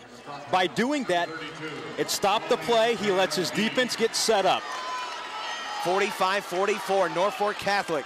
She can run the baseline now. She can run the baseline. Zaruba has it. She's got to find someone. Gets it in. And a quick foul.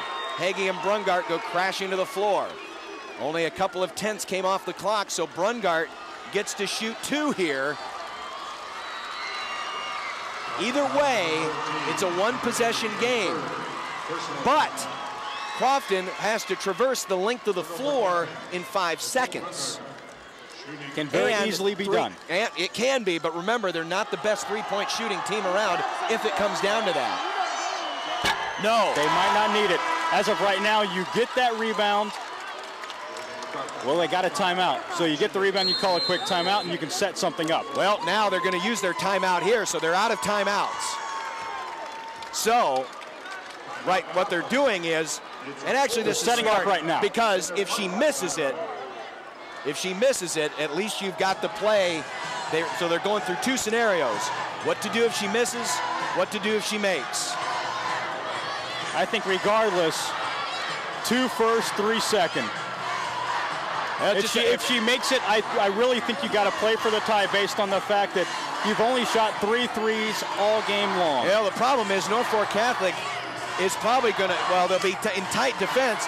You almost, with five seconds left, you almost got to get the shot off that you can get off, regardless from where it is, inside or outside the arc. I don't know what they are going to be able to set up here in five seconds. We'll find out. Well, you can get the ball down the floor in an easy three seconds. I, I, don't want to say easy, but if you hustle, you can go the length of the floor and still get a good stop and pop look in three seconds. And you've got to believe that Norfolk Catholic's going to have everybody back. And in fact, they're going to be under the basket. So they're not going to just retreat into half-court defense anticipating whatever Crofton might do. So they're going to make Crofton burn clock just getting it into the front court, depending on what happens here. If she misses, the clock starts the minute somebody puts their fingers on on the rebound. Exactly. That's why you almost wonder about that timeout. But she makes it. Now it's a two-point game. And now Tim Kazmaier is going to call timeout. He's got one left. So it's boiled down to this. A two will tie it and send us in overtime. A three will win it for Crofton. Anything short of that, Norfolk Catholic comes out of here with the big trophy the one that they've been waiting for for a long, long time. And we told you that there is nothing more satisfying than not only winning that title, but beating a rival to do it. There's no other team they would rather be playing in this ball game. If they're to win a state championship, you can ask every Knights player, they want to beat Crofton. Now, all you have to do is flash back to 2003. Norfolk Catholic was tied with Broken Bow with just seconds remaining. And Broken Bow got a game-winning three that was controversial. It would appear by the replays as if the shot didn't get off in time to beat the buzzer. But there is no instant replay in high school basketball. Even though we're here, there is no instant replay. Keep that in mind if there is a question between a three and a two, and if there's a question whether the shot got off in time. Here's the inbound to Heggie. Four seconds, three seconds, two seconds. Heggie needs to get it off. This is for the win. Yes! It counts! It counts! It counts! It counts! Amber Heggie wins the state championship, and it's another devastating heartbreak for Norfolk Catholic. Unbelievable! Amber Heggie, the hero. Are you kidding me? As you just said, a three back a few years ago. Deja vu now for Norfolk she get it off Catholic. in time? I believe she did. I don't think there's any question here that she gets it off in time. Yep, it's very close. Oh boy, that's about one tenth, maybe two tenths well, of a second. Maybe we have to look at it one more time to be sure, but I'm pretty sure she got it off in time. Oh my goodness. I don't know if she had any time to spare. I cannot believe it. I cannot believe it. What an unbelievable, here it is. Watch. Yes. It's out. It yes. was out in time. It is out in time. The shot is good. The shot is good. Unreal. We got to go to break. We need to reset. A dramatic game-winning shot by Amber Heggie in her final game has given Crofton a third straight Class C championship. What a night. And we're back after this.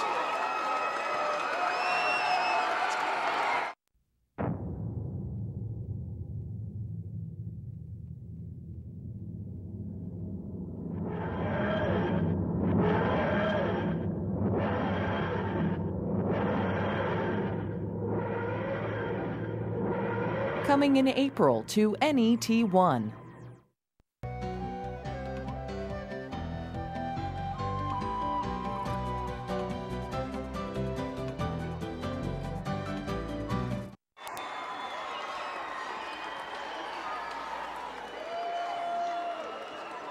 Oh, I hope you had a chance to see that finish.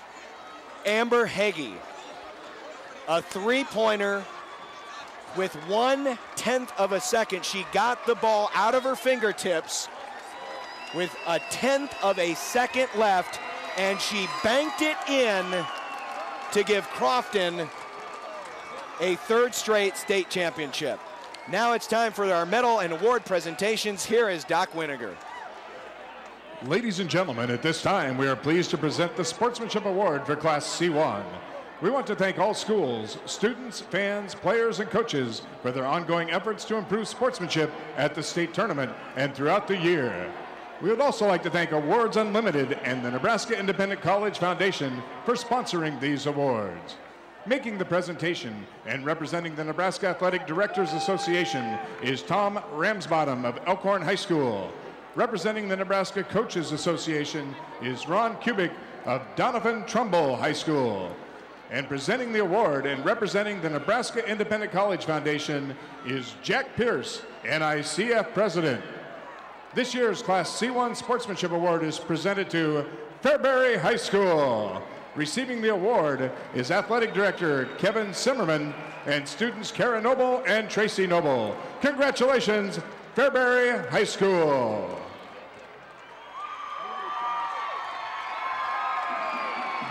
And now, the Nebraska School Activities Association is pleased to present medals and trophies to both of these outstanding teams. The awards will be presented by NSAA Board of Control member Glenn Morgan of Neligh Oakdale. He'll be assisted by U.S. Bank Representative Jeff McCowan. First, here are the awards for the 2007 Class C1 runner-up from Norfolk Catholic High School. Will head coach Tim Kazmaier and your assistant step toward the middle of the court to present the silver medals to each member of your team. Players, as your name is called, please come forward to receive your medal. Number 10, Bailey Anderson. Number 12, Brianna Clayton. Number 20, Jessica Zaruba.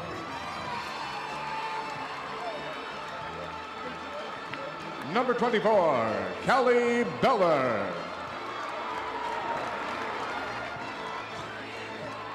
Number 34, Jessica Boyle.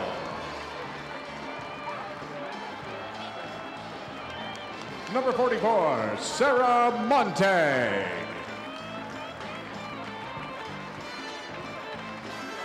Number 50, Kylie Frederick.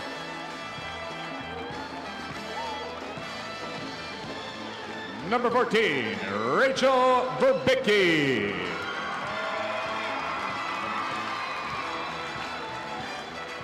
Number 22, Nicole Brungart.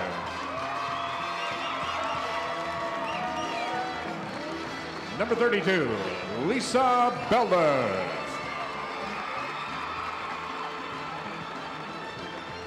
Number 40, Kayla Ewing.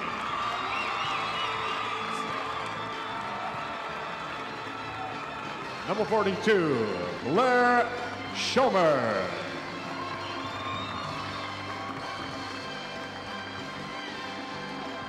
And now, all of you are welcome to receive the runner-up trophy for your school. Congratulations, Norfolk Catholic High School, 2007 Class C1 State Runner-Up.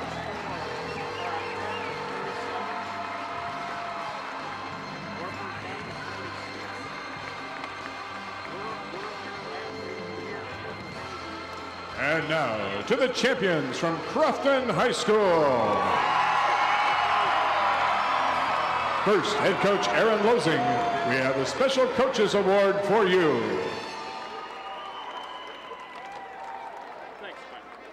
And now, coach, hand out the gold medals to your championship team members. Players, as your name is called, please come forward to receive your medal. Number three, Tara Harmelink. Number four, Katie Sage. Number 12, Maddie Larson. Number 20, Kristen Stefan. Number 22, Bridget Lancaster. Number 32, Molly Van Heath. Number 34, Brianna Wente.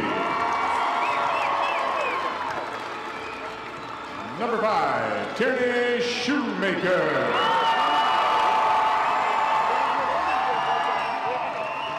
Number 10, Nicole Van Heek.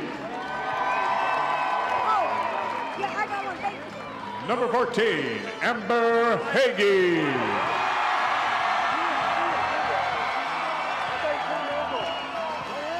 Number 24, Caitlin Jones.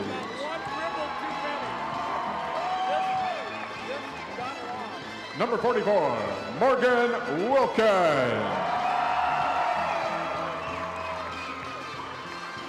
And now, all of you are welcome to receive the state championship trophy.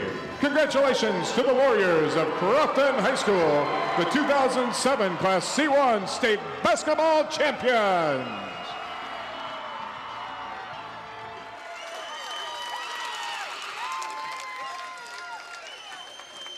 I really don't know if there's anything that I can say that will, will do this one justice.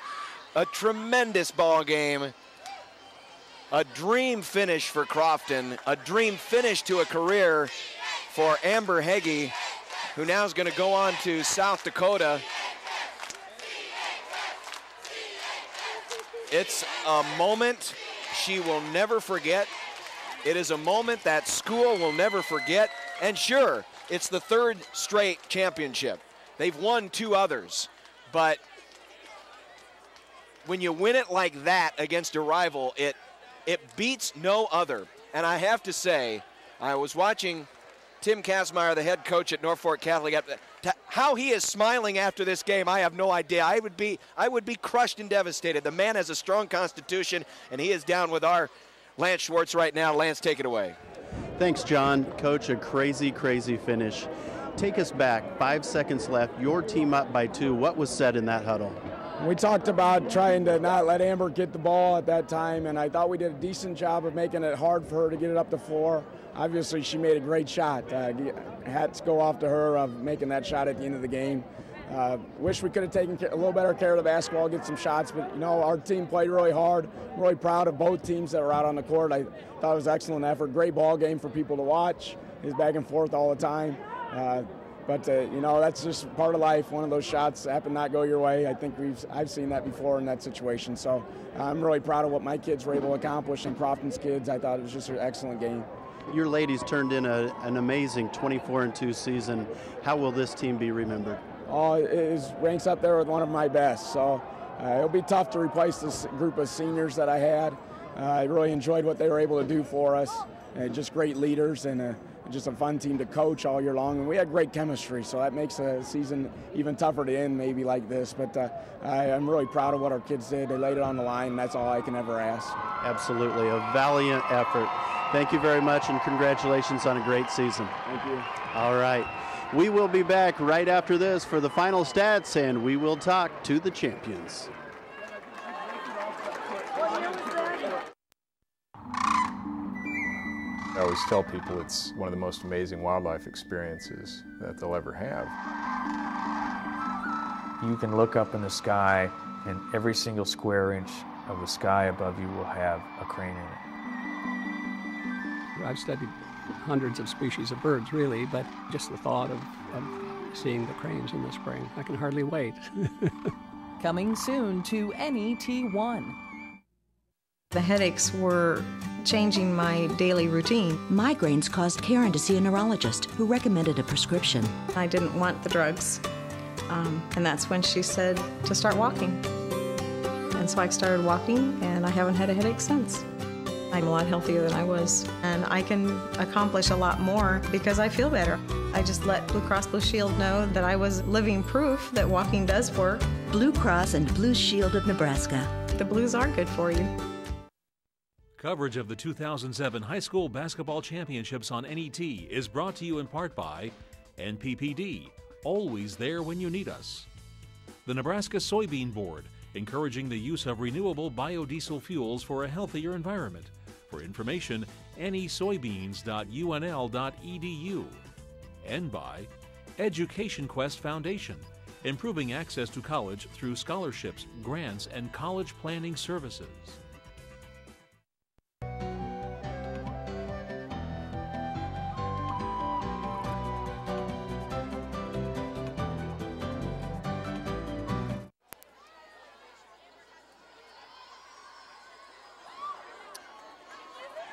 Crofton celebrates their third state championship in dramatic fashion. Amber Heggie with a three-point buzzer beater with her team down two. She banked it in. It was a legit three. She was behind the line, and as our replay shows, and I know we'll see it again here before we sign off, but she got it off with a tenth of a second left. It was out of her hands. And just again, another reminder, even e either way, there is no replay in high school basketball. So the officials, is, they made the call right away. They were off the floor, and there's no replay review. But none was necessary because it was a legitimate game-winning three. What a game. What a victory. What a career for Amber Heggie. Let's take a look at the final numbers. And uh, it pretty much stayed even for the game as we uh, thought it would. Points in the paint.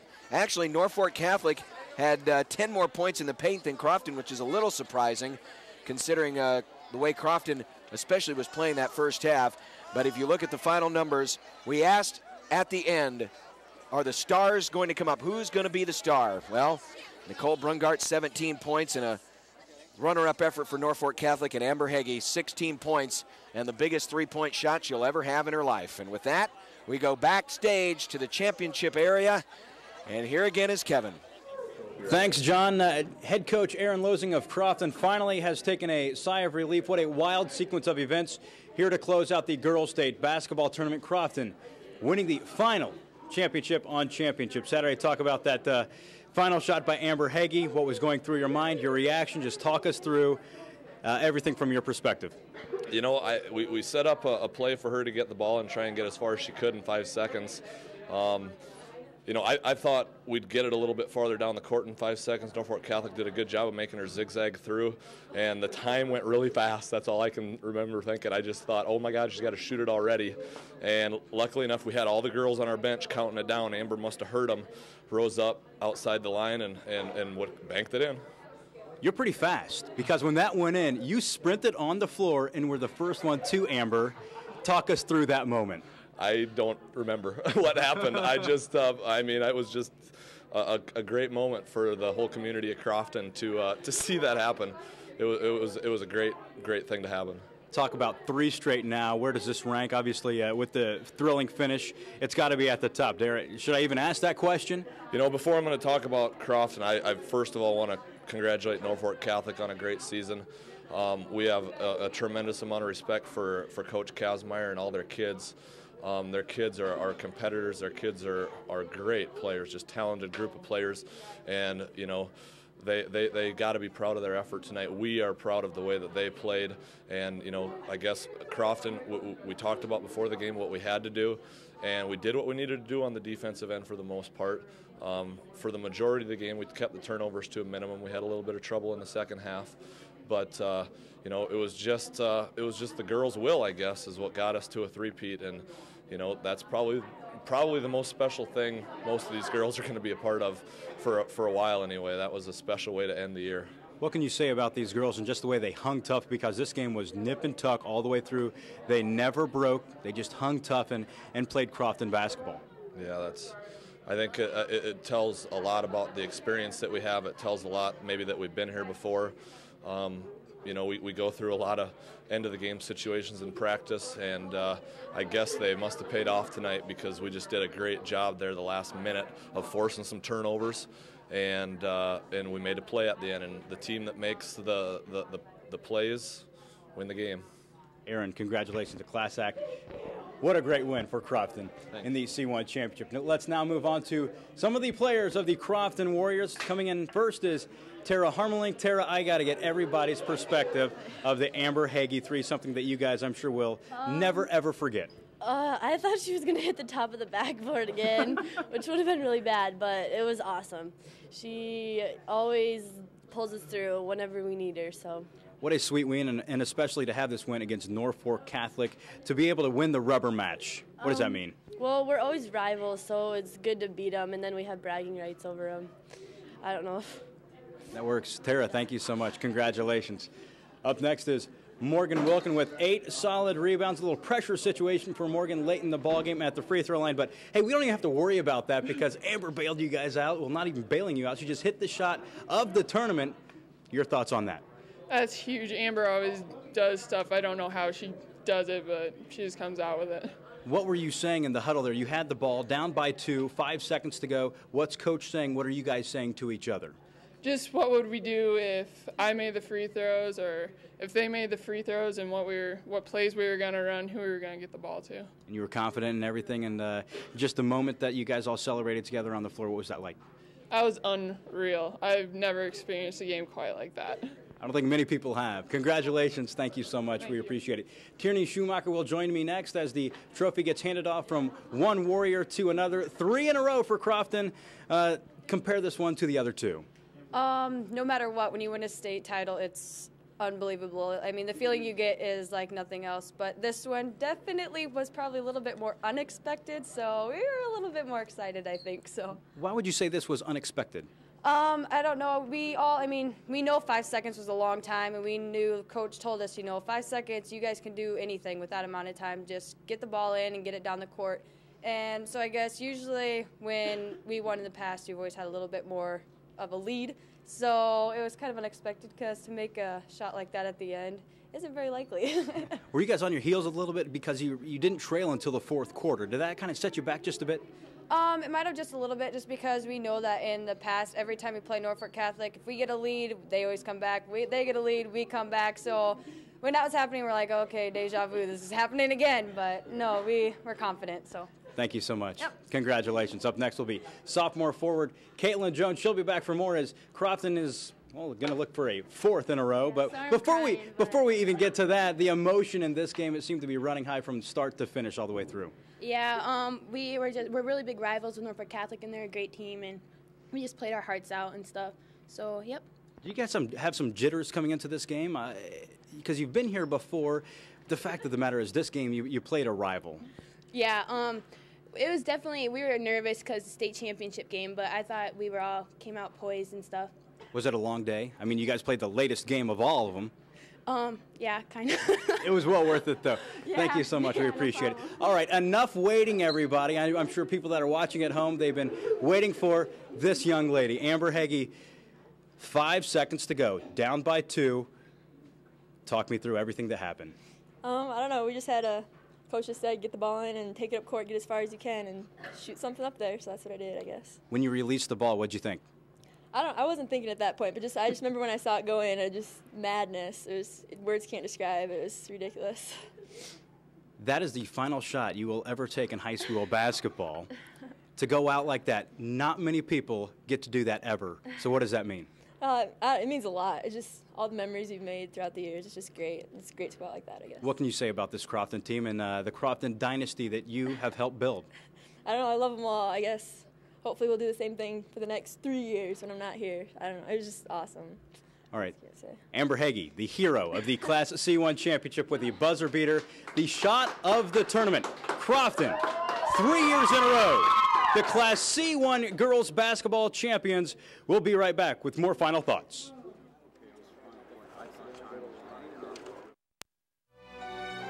This is NET1.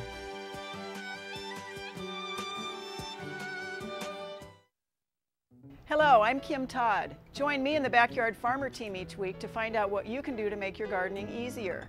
We'll have suggestions on landscaping, plant selection, and disease control, plus we'll answer your lawn and gardening questions. Coming in April to NET1.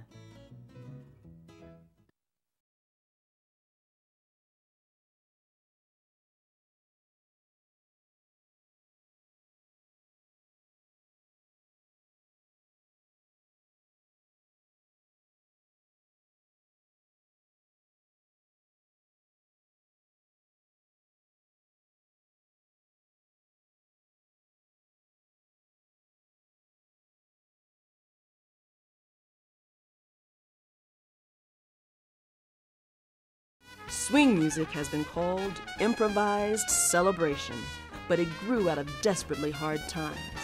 Listen to the songs and the stories of the Great Depression in a musical history, Hard Times Swing.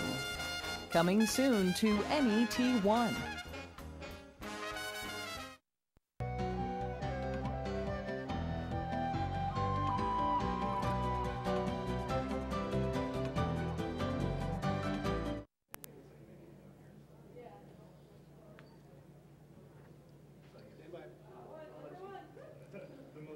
Welcome back to the winner's circle at the Bob Devaney Sports Center. Final thoughts here from the Bob Championship Saturday is in the books. Six very solid games, very well played games all across the board, and uh, it's obvious they saved the best for last.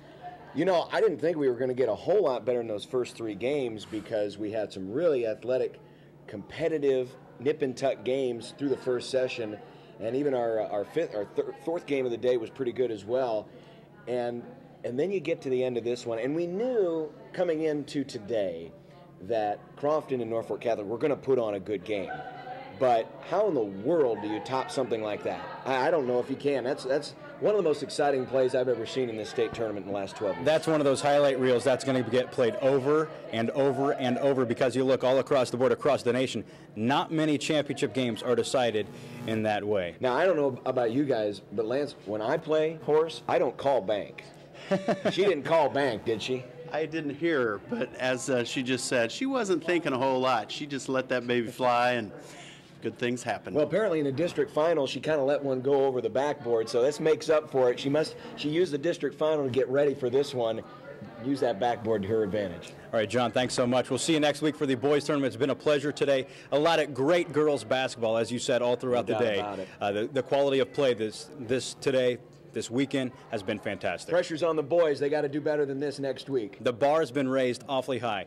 John, thanks so much. Lance, uh, your thoughts? You got the sideline view all day long. Uh, just sum up the day from your perspective.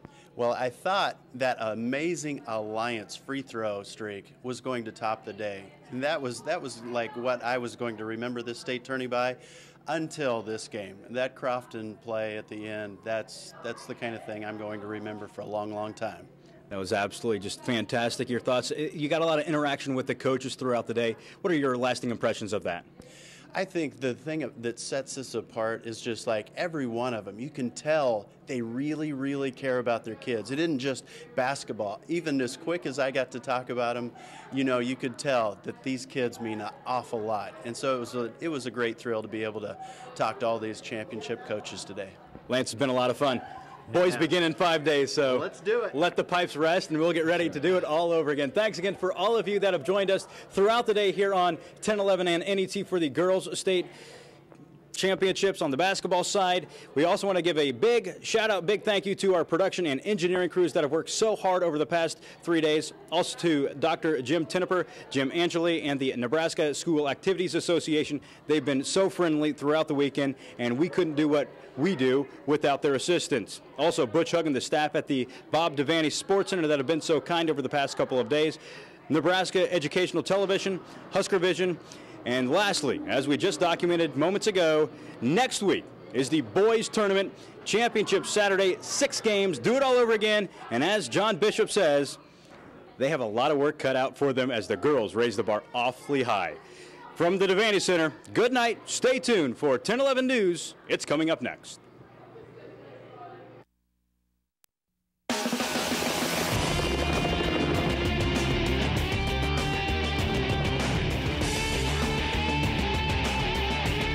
Coverage of the 2007 State High School Basketball Championships has been brought to you in part by the Nebraska Federation of Catholic School Parents, State Farm Insurance, Nebraska's independent colleges, E10 Unleaded, ONEOK Energy Marketing, the Nebraska Abstinence Education Program, Nebraska Community Colleges,